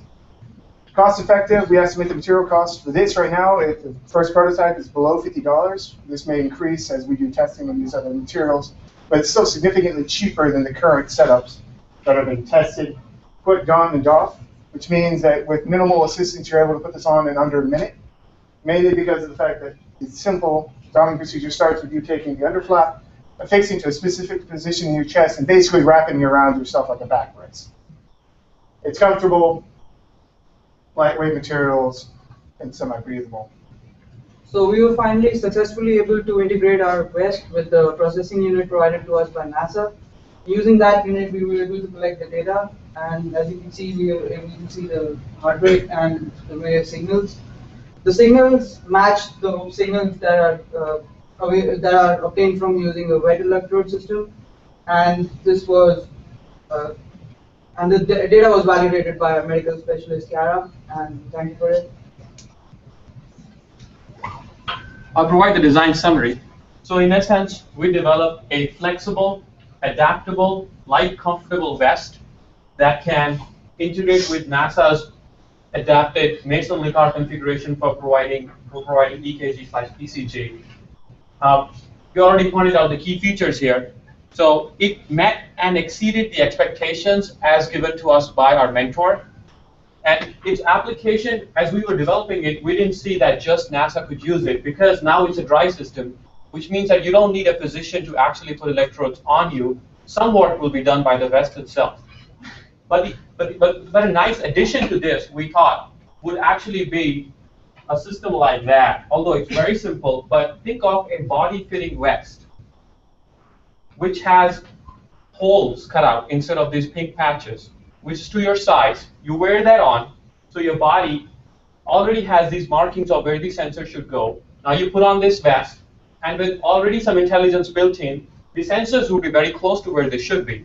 And then you basically use these straps and flap it up. And we've tested this process on the smallest of us with the 34-inch chest and the largest of us. I won't reveal that, but it can go up to, by design, it can go up to 50-inch chest with very slight uh, adjustment needed after the after the vest is put on. And that slight adjustment will be taken care of by an inner vest like that. So every astronaut could take just like a vest there, and it will improve it. And in addition, we started thinking it's a cheaper process, $50 thing. You don't need a physician. You could do it at home. This is a nice wearable health monitoring system. The recommendations for future work, I already explained you uh, the, the vest system, and we're currently working on a modified design for, for female astronauts or, or, or female patients who would like to wear it. But the design will be slightly different, but it can still be achieved. We've seen some pictures. So another one of the things we, we're trying to work with is better cable management on this. With that, we would like to give our acknowledgments to our mentor, Dr. Ray Nabarro from JSC NASA, our, our medical helping student, and the men mentors at EIC. Thank you very much. I do like want to say that that's our mentor in the middle, by the way. He's on the Aggie ball. That's how we've been interacting with him. Okay, any questions? Do you have any questions? The judges have any Oh, go ahead. Is the fifty dollar cost that you estimated, is that just for the vest, or does that include that electronics piece? Just for the vest. Just for the vest. Yes. Um, in what situations would astronauts be wearing it? Would they be wearing it um, underneath their spacesuits? Would they just be wearing it um, while they're working like on the ISS or while they're doing space mission, deep space missions? When would they actually wear this vest? Currently, according to one of the, uh, the specifications that we received from our mentor, was that the test was to be considered, conducted in an immobile position. But we believe that since we made it flexible, comfortable, it's fabric, felt, and cotton, that they should be able to f- adapt it in the future for some something that you put under a vest, so that you could use this and still be performing certain activities. For example, if you want to take a stress test, something like that, this should be able to take care of that. Any more questions? Any other questions? Okay, oh, I'm sorry, Dr. Lagoudas. The placement of the sensors, can you change them? You can change the position of these pads, but the relative placement of the sensors, do you have any flexibility for that? Yeah, the sensors are actually very symmetric, so they kind of look like just code buttons, but they are special capacitive sensors. That's why they're dry electrodes, but they are symmetric. You can switch them out because They don't have any capable, any smartness built into them. It's the actual signal that you're getting from here that's being then sent to this device that processes it, all of it together, and then sends. That actually determines your actual ECG signal. Did that answer your question? Mentioned that there was a, piece or another design that the relative uh, positioning of the sensors is important. Correct. So uh, This is what I didn't get in your product, how flexibility, how much flexibility. Absolutely. Now, in the center, the main idea is that the, there's there are electrodes named RA, which refers to right arm, left arm, right leg, left leg, and there are sensors named V1 to V6, which refer to the positionings near the ribs. Now, V1 and V2 are ideally somewhere uh, between the fourth and the fifth rib, somewhere here, and you have V5. V3, V4, V5, V6 coming around here. Now with other devices, these are already fixed. So these are fixed into the strap. So V1 to V6 does not move. What we have developed is that we have a V1 and V2. Those positions, that's where you start placing. But V3 is on a strap that can be moved about. And V4, V5, and V6, since we since we identified that they were supposed to be almost equidistant and in a straight line, realized that we could put them on a single strap themselves, which can move about. This is a Velcro taping about here and at the back, so that you can, you know, sort of lift them and move them around depending on your body type and your body size to ensure that they come in those perfect locations. So you, you talked about the sensors, and what about the device that has to collect the data? So does that have to be attached, or that's independent of the vest? So the data is collected by this large white box right now, and since we had this available to us, we had to integrate our vest into this design. Ideally, going further in your prototypes, what we would like to do is ensure that these wires are part of the harnesses themselves. So instead of having this spaghetti strap kind of you know, system which might get, which might interfere with other mechanical devices or instruments, they'd be a part of the vest themselves. So you'd simply have all the wires coming and collecting to a small box, which would transmit it, you know, to uh, an Android phone or you know the station on the on the spaceship itself or on the ground. It is a Bluetooth enabled It device. It is a. Bluetooth enabled, but it's just a little bulky, but that was given to us. Our, our goal was to make a modular, adaptable, uh, vest that can adapt to sizes, and a small astronaut, big astronaut can wear it with minimal adjustment. And we have very well achieved that. Okay, thank you very much.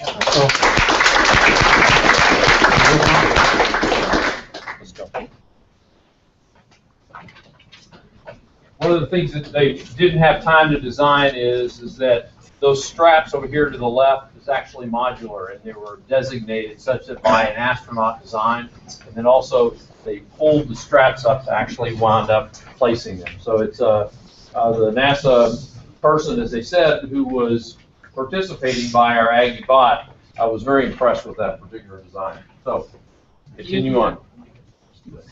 Oh, yeah. Yeah, we've got to return these sensors to NASA.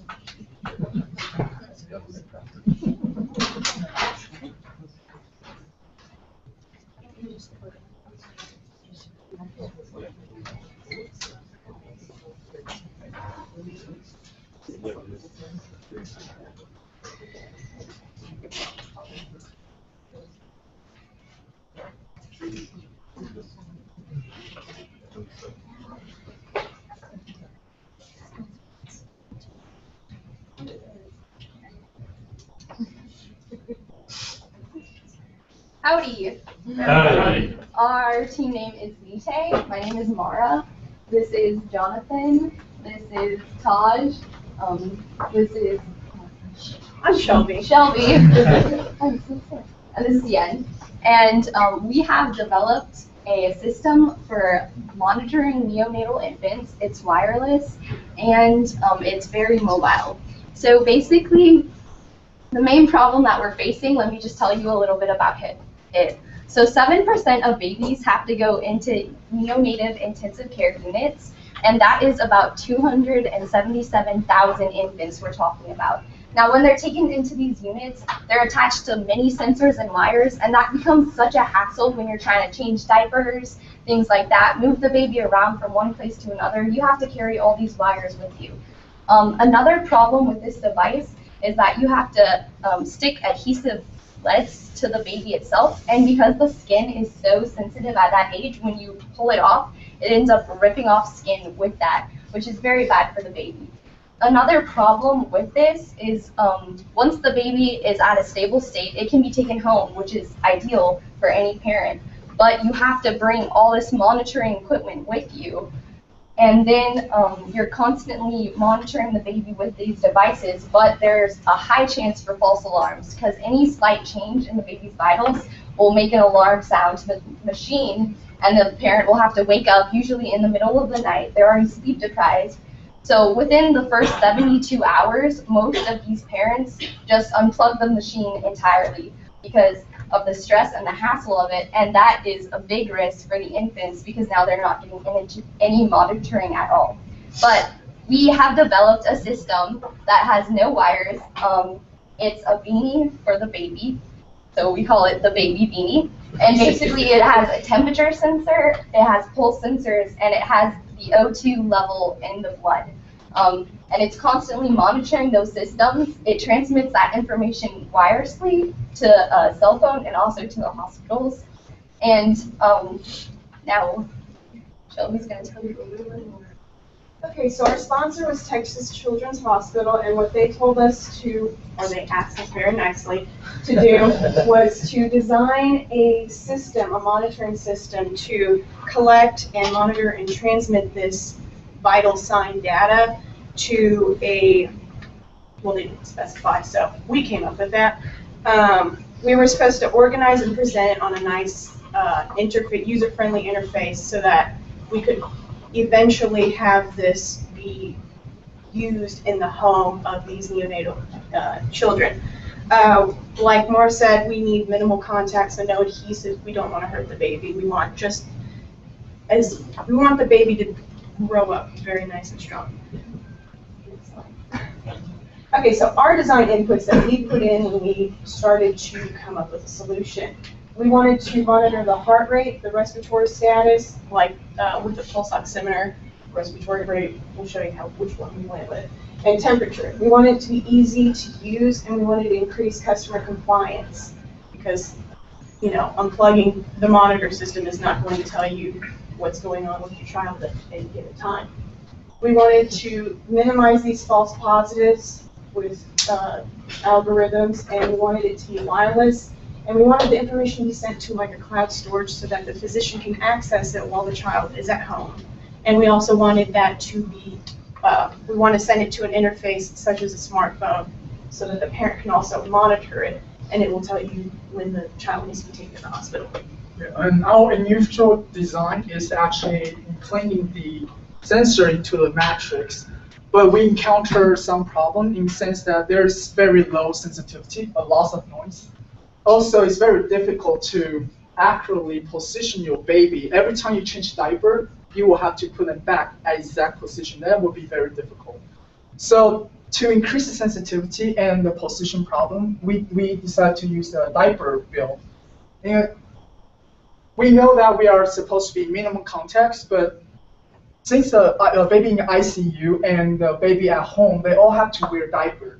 So if we have a sensor underneath the diaper and just use the pressure exerted by the diaper to hold the sensor in place, then we technically do not exert extra contact.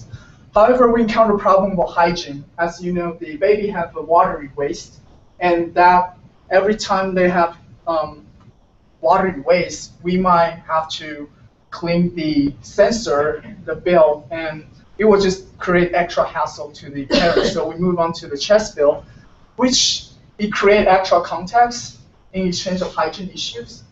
so we later on think it's not ideal for the what the hospital want. So later on we um, change to the bunny hat. In this design, we incorporate the sensor within the hat uh, to make sure the oxygen saturation level, the temperature, and the pulse rate. The, the pressure, uh, we, we hold the sensor by the pressure of a bunny. And most of, since most of the baby at home will wear a bunny to preserve the heat, so we don't really create any extra unnecessary contact. And since we don't have exposed wire, all the wire will be within the hat, uh, we reduce the chance to accidentally sprinkle your baby and as and reduce the chance to accidentally unplug the sensor. And right now we are wire- wirelessly transmit the data and in, ideally we want to move all the computing power to the cloud. We, we hope to use uh, the um, large computing power of the cloud to reduce the false positive rate. That is typical seen in the currently commercial product. Talking about the prototype, the first thing I want to point out is that this does not look like a scary medical device. We did that on purpose because, as you know, parents with neonatal infants are going to be making several trips to the doctor's office every week, every couple of days, and so they do not need another reminder of the child's health condition. They want to resume, resume a sense of normalcy in their lives, and we hope that by doing a beanie factor that is not scary looking will help provide that. This includes currently two sensors. We have the pulse sensor here, which will be located on the temple, and you can also tell that the beanie has a nice form factor, so it's you have to put it on facing the correct direction, which will aid in the user having that sensor lined up. Also hidden within it is a temperature sensor to measure the infant's body temperature. And we'll actually go through a live demonstration with that. So there's a sensor. So the interface isn't the best, but It does successfully transfer the data. so for the beats per minute, uh, we'll let it, we'll let it, we'll let the cloud get some data first. Let it level, level out and then. Is We're it saying the beats per minute 78 right now. His heart is beating really fast. Wow. you must be nervous. I'm nervous. You must be nervous.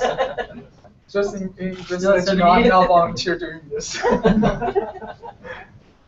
But the baby cannot put it on though, can someone else? yeah, somebody can put me on, but yeah. Dad, you want to? Oh, man, you did a really good job. then you also Basically, use like we want to, like there's a center you kind of can, and you will want to align in the center, and then you will I, like put the the sensor in the correct position. Yes, because it does have the pulse sensors, which will be on the baby's temples. It says the temperature is negative 23, but it, it needs to be it needs to be 23. But we just did not get time to fix that. Sorry. What's a minus sign? Yeah, what is a minus sign? This this was also built on a source for. So uh, we believe we, we reached our target goals by minimizing the contact of the sensors and the baby.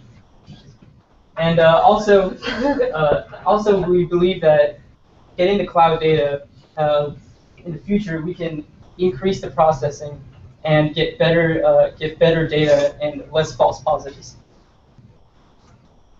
Also, uh, in the future, we can broaden our market uh, into adults and also el- the elderly. We can put these on pretty much any everyone has a head who's alive. Anyone can use it. And also, uh, if it's in cold weather, you, you can use it in cold weather if you're going on a jog to. Because I, I know a lot of adults now these days want heart heart rate monitors when they're running. So this is a perfect perfect way to use it. Okay, we just wanted to take a quick second to thank all of the doctors for all of your input as, you know, stakeholders. It was really helpful. All of our peers, you guys really helped us too, and all the faculty and mentors, thank you so much. Okay. And, uh, any questions? Could you show the acknowledgement? Acknowledgement. Yeah. Did you spell your Didi, Didi. I know, but I, I, I was trying, I tried to find your uh, full name, but I just, Thank you. and all your teammates say, Didi. so I was like, okay. Thank you, thank you. Yes, I have a question. How much hardware is actually inside that hat? Is it simply electrodes, or could that hat actually be like a stocking knit? Could the electrodes be attached to the stocking knit hat that all babies get that's part of their, uh, at, at birth? That is exactly why we, why we made the cap. Is because it, it, instead of using the, the stocking, we can just use the cap instead. Or the Okay, beanie so there, so all that's in there are, is those electrodes? Electrodes and There's there, no hard- there is a processor inside there. Yeah. But uh, we we can minimize the size uh, with a better hardware. Yeah. So ideally it would be smaller, so it would fit in those hats. And my mother-in-law was knitting the beanie for her granddaughter, she used the size of an orange to make the size of that beanie. Can you make it that small? Yes, sir. Like I said, hopefully with the way technology is advancing, we'll have microprocessors that could be made that small. So the research we've done so far is a little inconclusive, but I do have high hopes for it. If not, we could still possibly use near-field communication or other sources to provide that data and power to these sensors and extract the data that way. However, the source, uh, the, the sensors are really small, Yeah. and uh, actually the, the pulse sensor is uh, pretty large, which will give us a better reading for the uh, for the neonatal How big is the processor? process. It Right now, it's Right now, it's Right now, it's pretty That's large. Yeah, we would have liked to. And hopefully we can just like transfer all the computing power to the cloud. So But one thing to remember with the processor size that she showed you is that's also on a shield for prototyping. When we actually can do, you know, surface mount electronics and come up with a finalized design, it will be a whole, whole lot smaller. Mm-hmm. Yes, sir. Unfortunately, children don't always do it like we'd like them to. They don't always leave the little beanies on. So do you have a way to evaluate whether the beanie's going to be on regularly and then alert the parents to put the beanie back on? well, I guess right now our target is newborn, not infant. So I don't think they can consciously do this. and they cannot, and they also don't move Oh, really? We we talked with the customer and uh, uh, uh, and they said that uh, actually uh, Doctor uh, sorry can't remember. Uh, he said that uh, he had, had neonatal babies, and he said that once you snug them in tightly, they just don't move. They just don't move that much. So that's perfect for uh, for, sen- uh, for putting sensors uh, on I cats. should have sent mine over to John then. But also, once, once the hat's off, you start getting no readings, and clearly that would be a sign that, oh, the hat fell off, let me go real Or fast. something catastrophic. No, that's when you need the missile man. So the two are collaboration. Yeah, Yeah, that, that would be great, we could collaborate with them. Yeah, we actually uh, had thought about using a cap and also the mattress, but it was just too much integration going on at that point. And also we hope to make the product into one piece instead of two separate pieces. Okay, one more question, there is one? Okay, then, thank you very much.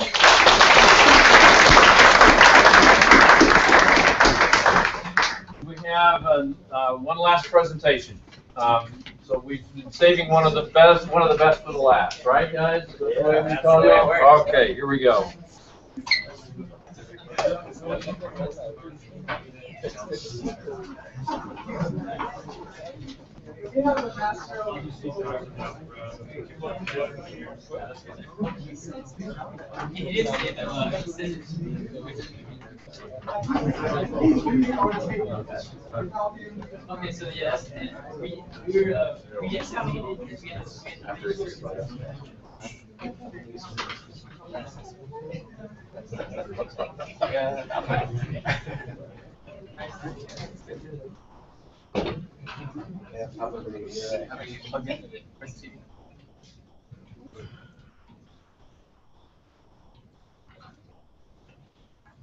Somebody that knows this, did we do something um, for the PowerPoint on the screens?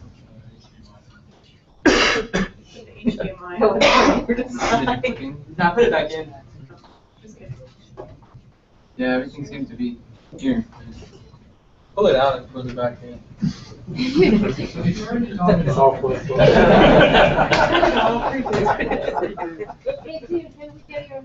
There we go.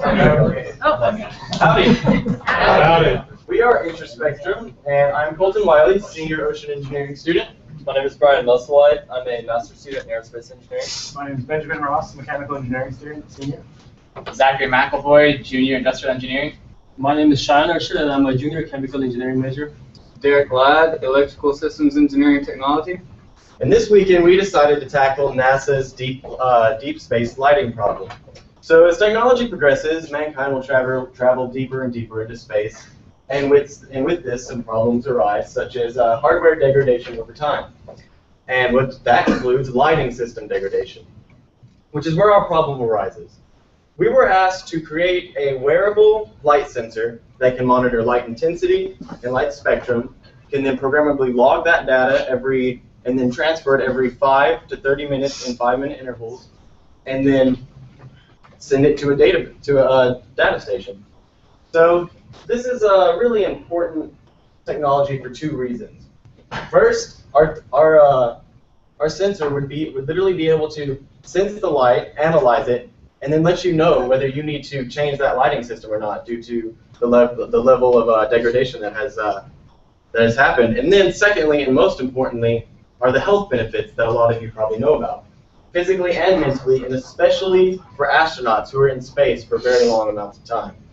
And this is typically one of the biggest, there's multiple factors, I mean, your skin's involved, but one of the biggest factors we found is that light through the retina um, interacting with the hypothalamus, which then regulates melatonin production, which is very influential in your sleep patterns. And like all of us, if our sleep patterns are interrupted, we sometimes become quite grumpy. Yeah, so as we begin to think about this problem, uh, we had a lot of different design elements to think of. Um, the biggest one being that we needed a consistent light rating um, and needed to have it somewhere on the body that wouldn't be blocked. So we considered things such as hats, shirts, headbands, um, so everything from style uh, considerations to the headband to the opposite end of the spectrum of potentially integrating into um, a modern smartwatch. Um, we consider the whole spectrum there, um, but decided that all of those things potentially have the ability to have an interruption of the light source. So we ended up on a design that would incorporate multiple light sensors and would have the ability to clip anywhere, whether that be the back of your sleeve, on top of your ball cap, on the sleeve of your shirt, in your pocket, giving you the ability to put that somewhere that will be sure to give you um, a consistent light reading. And this is sort of what our prototype looks like. We started by um, prototyping sort of the general sensor layout, um, which was going to be a big factor for us in being able to tell the difference between spectrums. And so we had to custom build a light sensor using a series of filters to be able to tell the difference between uh, simple intensity of light and different colors of light. So we started out with a prototype like this that allowed our team to get on the same page, and also then to present that to our mentor in our first conference call and get his feedback, which was all positive, on um, the spectrum we were analyzing and the data that they were hoping to get back from it. In preparing for this, we also did some things um, like we're able to use this brainwave monitor to um, confirm for ourselves some basic findings on how lighting can affect mood, um, and also to take some spectrometer samples using some online webcam-based tools to get an idea of the spectrum we were dealing with um, and what bands we could easily detect. And y'all can see here that we've decided uh, we liked the clip-on uh, uh, design, and you can see we have something similar to our prototype. We have multiple colored lenses. Uh, we chose violet, orange, and green. Those were three different colors that allowed us to uh, find variances between different colored lights. And we also have a clear one for just measuring light intensity. Um, with this, we had a simple clip-on design. We integrated in uh, an Arduino Uno microcontroller, which allows us to take in uh, four analog inputs, and then through a uh, microcontroller, we are through a microcontroller talking to a wireless card. We're able to send this wireless card to this hub, and through this hub, we're actually able to communicate to this device. Uh, but I'd like to pass this on to Sayed to talk about the construction. All right. So in order to create like a like a safe, reliable, and a good-looking prototype, we had to uh, we had to create a case for uh, for the microprocessor and the sensor itself. Uh, but for for for us to achieve that, we had to um, we had to uh, uh, dimension dimension it consistently because uh, if the numbers weren't right, then this thing wouldn't fit. So for that purposes, we used the 3D printers technology that we were provided by by Texas A&M and we, uh, I guess, use the uh, use it to our benefit, and we uh, use to create the cases for the microprocessors and the sensors. And then pass it on to Brian. So part of part of this uh, challenge is we were supposed to design. Well, we did design something that could uh, then transmit this data wirelessly. So we're collecting all this data about light, and you know, what do you do with it? So our solution, uh, we actually ran uh, another Arduino with a MATLAB program where we could actually import the data, analyze it, and then do whatever you want to from there. If you want to, you know, go in and adjust lights, if you want to report that a certain light is out, maybe there's, um, you know, a certain tone that you've had too much in a day, maybe that's causing some agitation that uh, you might not be aware of. all of this can be done through MATLAB, which is really nice. So. Yeah, so we're going to give you uh, a bit of a demonstration here. Um, right now, the functionality that we're going to demonstrate is uh, this ability to uh, notice um, a change in light and adjust uh, these lights accordingly. So uh, if you'll notice, as it gets dark, those lights uh, dim, um, dimmer than they were before. That's about as, about as dim as they're going to go. I don't know what that was, completely unrelated. um, as it as it lights up, you'll notice that it's going to it's going to recognize the light and adjust the lights accordingly uh, based on the ambient light.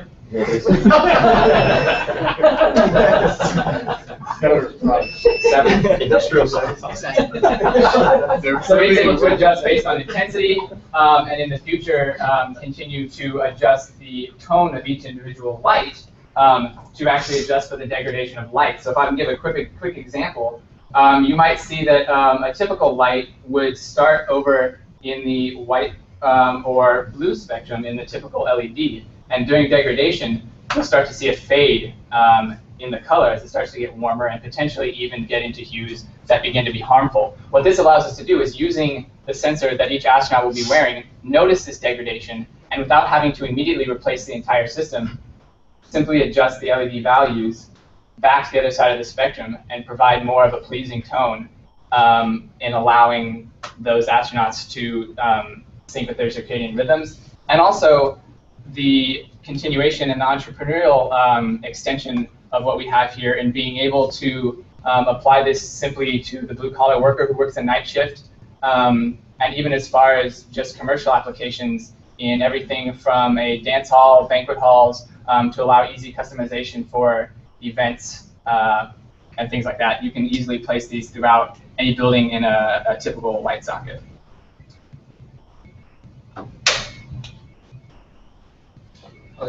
And uh, this design was initially for NASA. So next we have to verify that these will work in space.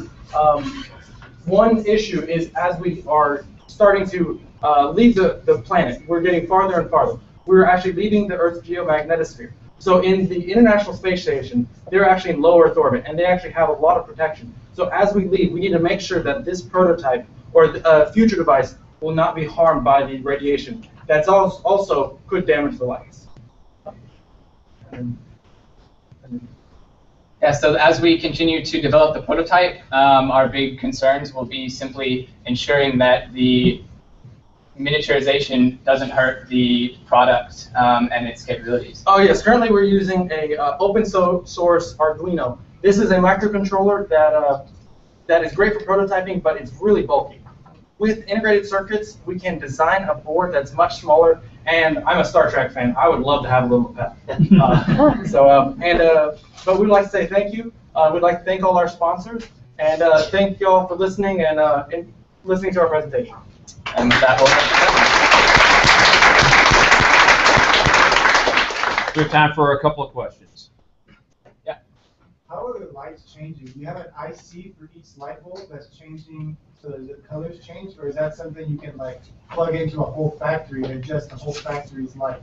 So these bulbs are, uh, the bulbs themselves are a commercially available product um, that work over a Wi-Fi signal. Um, and so we were able to plug into the API for that and um, integrate that all the way from uh, the light end of things all the way through both of our Arduinos, um, the wireless code that we wrote all the way back to the um, sensor to integrate that with, um, to make it smart instead of um, requiring direct user control. But these use a uh, variety of colored LEDs uh, coupled with pulse width modulation to control intensities to go from one spectrum to the other. In the International Space Station, they have all LED lighting, um, and we're hoping that they can have multiple colors. They'll have some red hues, some blue hues. So once the lighting degrades, we can actually adjust it and maintain an optimal level. How do you identify which lights need to be adjusted? Glad you asked. There's uh, the four different filters on it actually will give you different intensities. And if you, we talked with the Dr. Optometrist, that's not his name, but uh, he's technically not exactly the spectrum you're getting, it's the hue, which they are related. And it might be changed with the degradation and radiation. You could calibrate it still, but with uh, algorithm and taking the percent differences between the intakes and the light intensities, we have one that doesn't have any filter on it. So you take that intensity, and there's a lot of lot of math, not enough time to like get it right now, but you can tell differences that are you're able to right, relative differences between the Right. different um, sensors. And So- we were able so to building like on on that. Why wouldn't you uh, do kind of like something we talked about, where you get a single sensor that can uh, take in those multiple wavelengths? Sure. That's So you guys would be interested Sure. So I mean, obviously that would be the optimal solution, and probably something that would be integrated into a, a small future form factor. Um, this was something that we did to allow us to have a fully functional prototype um, with the materials that we all were able to bring in. that would be a full spectrometer, which They're expensive. They're big. It's kind of it's it's usually walking the the line size of what's for on yeah. your yeah. How much uh, will it cost for you to implement this uh, system in a greenhouse In a greenhouse. with people inside? So it would depend, the big cost would be on whether there's already LED lighting. Uh, if there's a LED lighting system in place, um, the cost is um, significantly less and you could hook up um, a system like this into the current LED system and just simply be able to control um, your LEDs. if you already had the LEDs, thirty dollars. Yeah. Can you make recommendations like how to, the shade should be implemented or How the what should be implemented? like shading techniques and how Yeah. the Absolutely. Like infusion of outside light with interior light. for example. Sure. So that would be the benefit of having multiple um, people or locations with these sensors, is you can compare those different um, values and um, run simple experiments with them. You can put these things on timers um, to see the difference and the exact change in intensities and hues that would um, be able to, you know, have constructive or destructive interference. And using a spectrometer, we could measure the light. If, if this was in a greenhouse up in uh, somewhere in the northern hemisphere, uh, we could measure the light. In College Station, I mean. In College Station, yeah. We could measure the light. We could see how much light, and then you could actually supplement it. If we have, if we're in the winter and we're trying to grow uh, year round, we could supplement light and maybe produce a more optimum uh, light band for what plants absorb. And that would go back to sort of the circadian rhythm of the plant. If you decided that you wanted to have a, a constant light level, you could easily adjust that um, to change based on how much um, outside light you're getting, or if you wanted to have that on a timer to slowly uh, dim out, dim in, um, things like that to create um, day-night rhythms. Okay, thanks very much.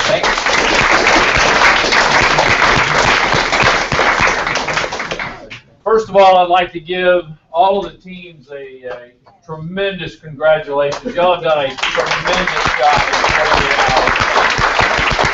I, I, I do not envy the judges' next task. Uh, y'all have a tremendous task to do. And if you don't mind, uh, we're going to give you all a little bit of a consulting room. So if you'll follow Diane Knife right back there, we'll ask you uh, to go away and, and decide on your selection process of the first and second team. And Diane will lead you there. And we'll meet, right now it's 520. And for the rest of the folks, if y'all would just stay here for just a second, I'm going to give you a few more instructions. And then we're going to meet back here in 20 minutes uh, for the award ceremony. All right, so I have a few last things that I'd like y'all to do. First of all, all of you who have participated in this inaugural Aggies Invent, y'all have been outstanding. I mean, the attitudes, the cooperation, how you helped each other out. You jumped in and helped each other out when they had problems. It has simply been outstanding. I could not have asked for a better group to get this thing started. So y'all did a fabulous job, and it was it was, in my opinion, very successful because of your attitude, what you brought, the knowledge you brought, and and the skills that you brought to here. So congratulations to every one of you because y'all did an outstanding job.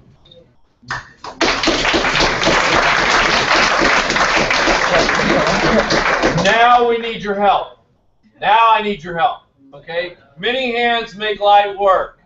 Jim has graciously allowed us to use the lab and so here. So we need to help clean up. All right. So I'm going to ask y'all to help clean up. Take all your sense. First of all, all the prototypes. I would like all the prototypes, unless you had brought in your own laboratory equipment. I'd like all the prototypes to be left up here, please. What we'll do, don't disassemble them unless you have to return the material, because we'll disassemble them for you. But we want all the prototypes left up here. We'll take some pictures of them and continue to uh, use them. So please leave them up here.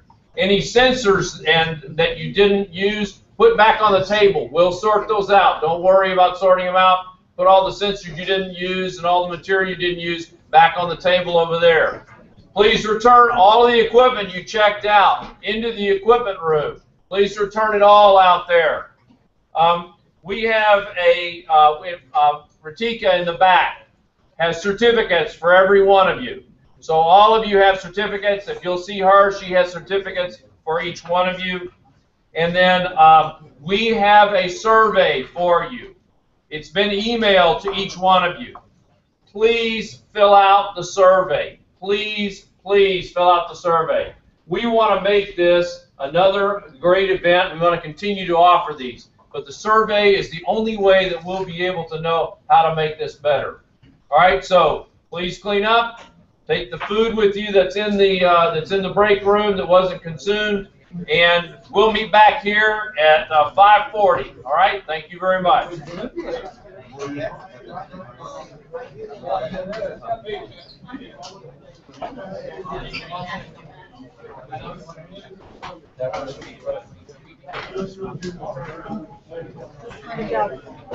Tough job, fine. Absolutely.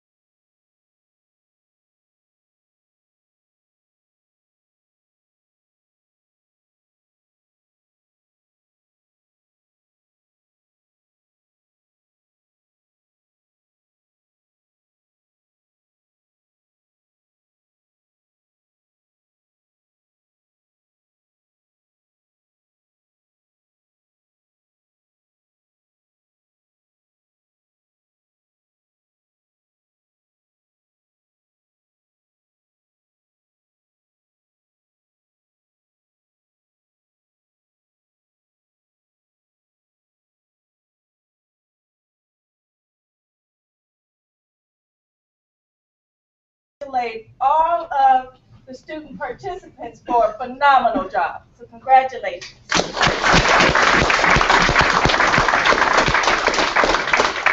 And all of the judges, we had such a hard time uh, picking out third place that what we're going to do, and this is thanks to the support of the system and TEES and the college, we're going to award six um, third place recipients.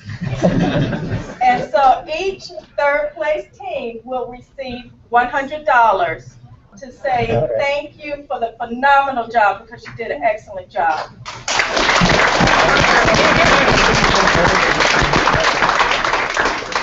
And so with that, I would like to introduce Dr. Mogford to hand out to announce the second place win, uh, recipient.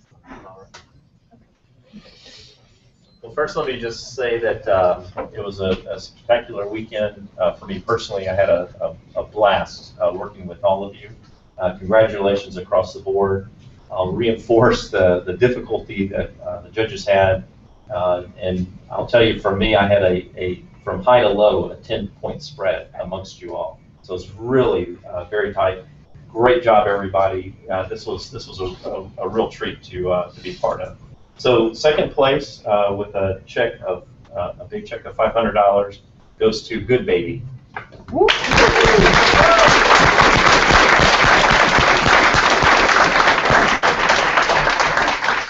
So, so for those of you who don't write anymore, since this was not initial, I'm not sure that that's that's real. so. It already says non-negotiable. Great job.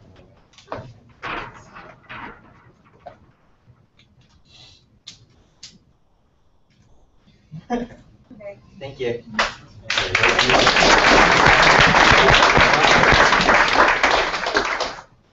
Okay, and then for the top prize winner, Dr. Lagoudas and Dr.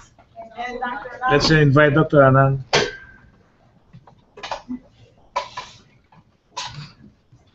We'll hold it together.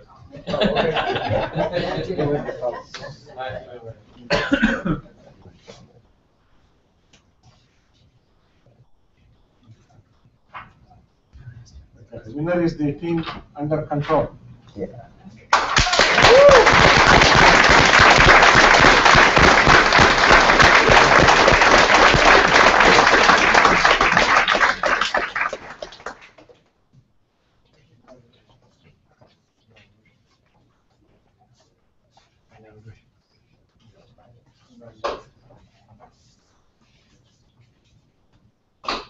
So You can go in between get it.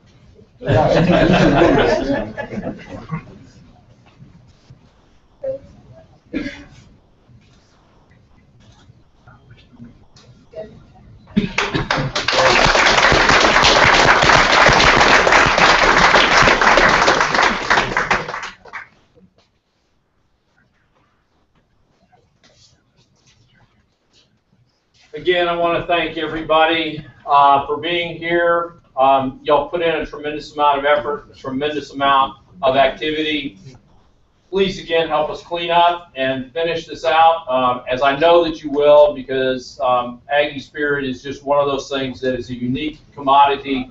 And please help us finish cleaning up, get this thing set up for uh, the uh, business tomorrow.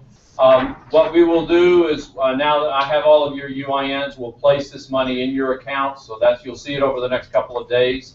Um, I am astounded by the generosity of the system and the, the rest of the uh, judges, so thank you very much for your continued support.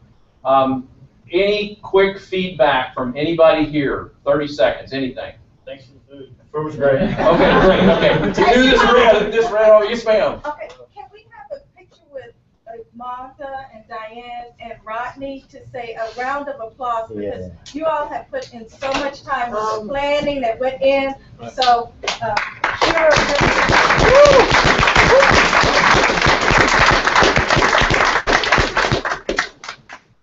What a team. Thank you, thank you. And let's have Dr. Anand close this and say a few things on behalf of Dr. Banks also.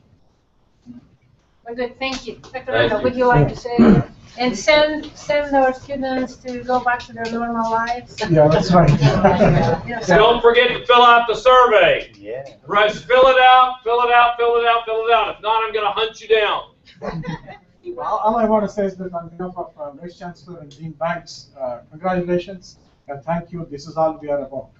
Okay, we have, uh, we have been thinking whether to do this every weekend, maybe, no. No. Congratulations. Thank you guys, thank you. Thank you all very much. Please clean up when you're finished. Have a great rest of the evening.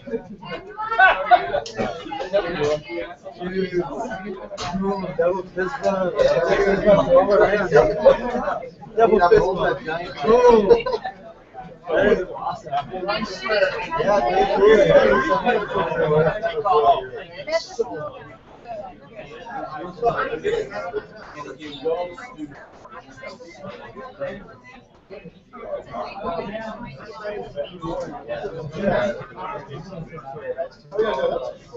That is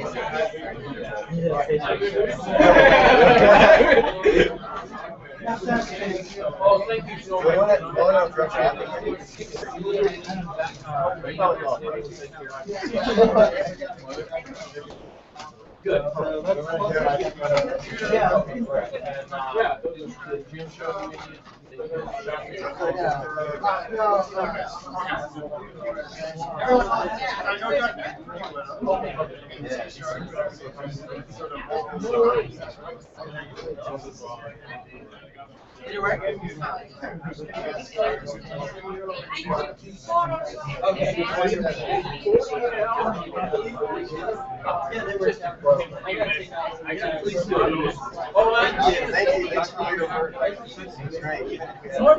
We'll do it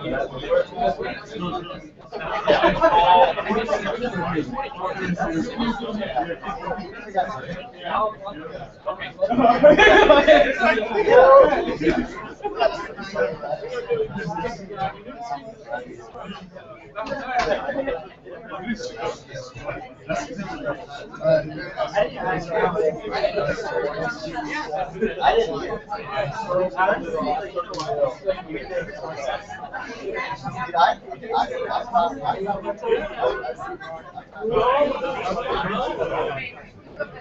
Oh, you're welcome. Thank you.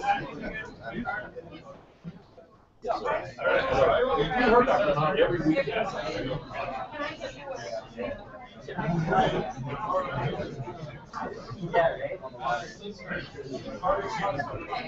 I just want to say thanks, that was really awesome. Well, Even- Even if we hadn't won it, we'll see what's you still for there. the- it was awesome. No, we're outstanding. Oh, my gosh. So how does this compare to like Bullet? I liked it, I mean, honestly, liked it better. One, because, like, I got some of the stuff in the first one, didn't. I didn't that. Useful. Um, I like the dictionary statements. Okay, good. Um, and, uh, otherwise it's similar. We'll just fill out the Yeah, I'll survey. definitely- That's- that's it. Okay. Definitely. All right. Oh, well, oh man, I'm glad. I'm glad you guys. Yeah, this is that's what this was all about. It was about, you know, making connections and having fun and pushing yourself and all of that. So that's the kind of stuff. It was really cool to have those tools for it, but at least the programmer in my group spent the whole weekend trying to figure it out. Uh, So I think not having sort of limited to that device. Although that was, I mean, it was still was cool, Yeah, we, did have some.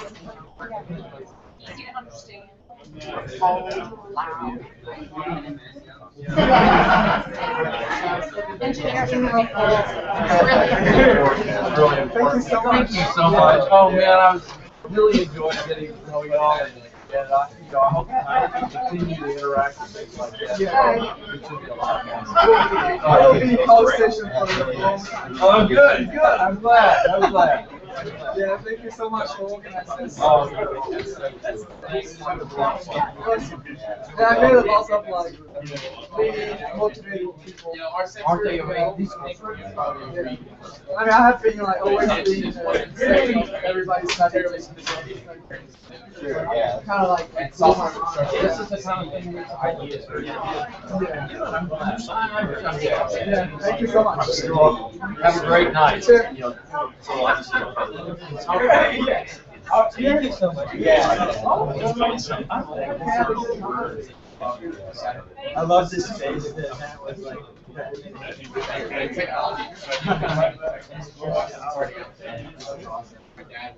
And the thing is, it's like, there's so much love in medicine. So, pretty excited about joining our space, sort of like, a lot of You Hawkins. Yes, I did, I did. I'm gonna send them an email and follow. So unfortunately, um, the engineering faculty doesn't start until next year. Um, so I'm gonna try and meet with you know, see if I can push something. Good luck. He's a great supporter, he's good on he's been a great supporter. So I was really, and y'all were wonderful. I mean, it was, it was really fun. It was great seeing the interaction between the two colleges. Yeah, that's. So, we are thinking about the next. We'll be back. We'll be back. Yeah, that sounds really. If I, if I get my, if I get my way about it, the final presentations will be at the City. That would be. Uh, Oh. Oh. Just look at it from the air. So we're talking, let's. Well, we need to the arrow. Dr. Murphy, Dr. Murphy was going she had a meeting statement, but unfortunately, couldn't get everything together. Her meeting statement, the quad copy, was dropped. Supplies in the area. I feel like, I don't know, were all sitting here like, man, there's too much like. I was just like, I know how to, I know how to do it, but like the soldering. You don't want It's, it's, exactly, yeah. Exactly. It's great. Well, congratulations to you both. All right, definitely glad you mentioned it. Very important. I hope you came away learning something. I'm, uh, I'm an academic mentor for his outfit. Oh, yes, that's great as well. So I said, I said, you try to be here somewhere. I said, oh, you. Can I also thank you because, I don't know if you remember, but I, so I switched to Camden Gmail last Thursday. Did you really? And, for- and I previously had everything forwarded to my account. So I get this message on Friday, I don't know anything, and so my mom somehow gets a call from Diane on Tuesday. So I'm glad you didn't just like kick me out immediately for not Yeah, well, we go, we, we started, well, we saw there was, there was, there was a number of people who didn't respond, I'm going. So we started calling. Yeah. We started calling. Yeah, because I I had no idea, I didn't get emails for a week and a half. Yeah, that too, the two Gmail switches. I'm sorry to interrupt you, ma'am, but I was very sorry. I'm going to send you out an email uh, asking you about your experience here. That's not, uh, that's part of the survey. You have to fill out the survey. Which is I'm looking for testimonials about the event. Oh, okay. Just uh, send me an email about how you felt and if you are end up pursuing this project further, shoot out an email as a follow-up to our department. So you're- I saw you were writing down names earlier, I didn't get them. Yeah, she. Okay. I'm gonna, I'm gonna go, I'm gonna end the, I'm gonna end the hangout. Congratulations.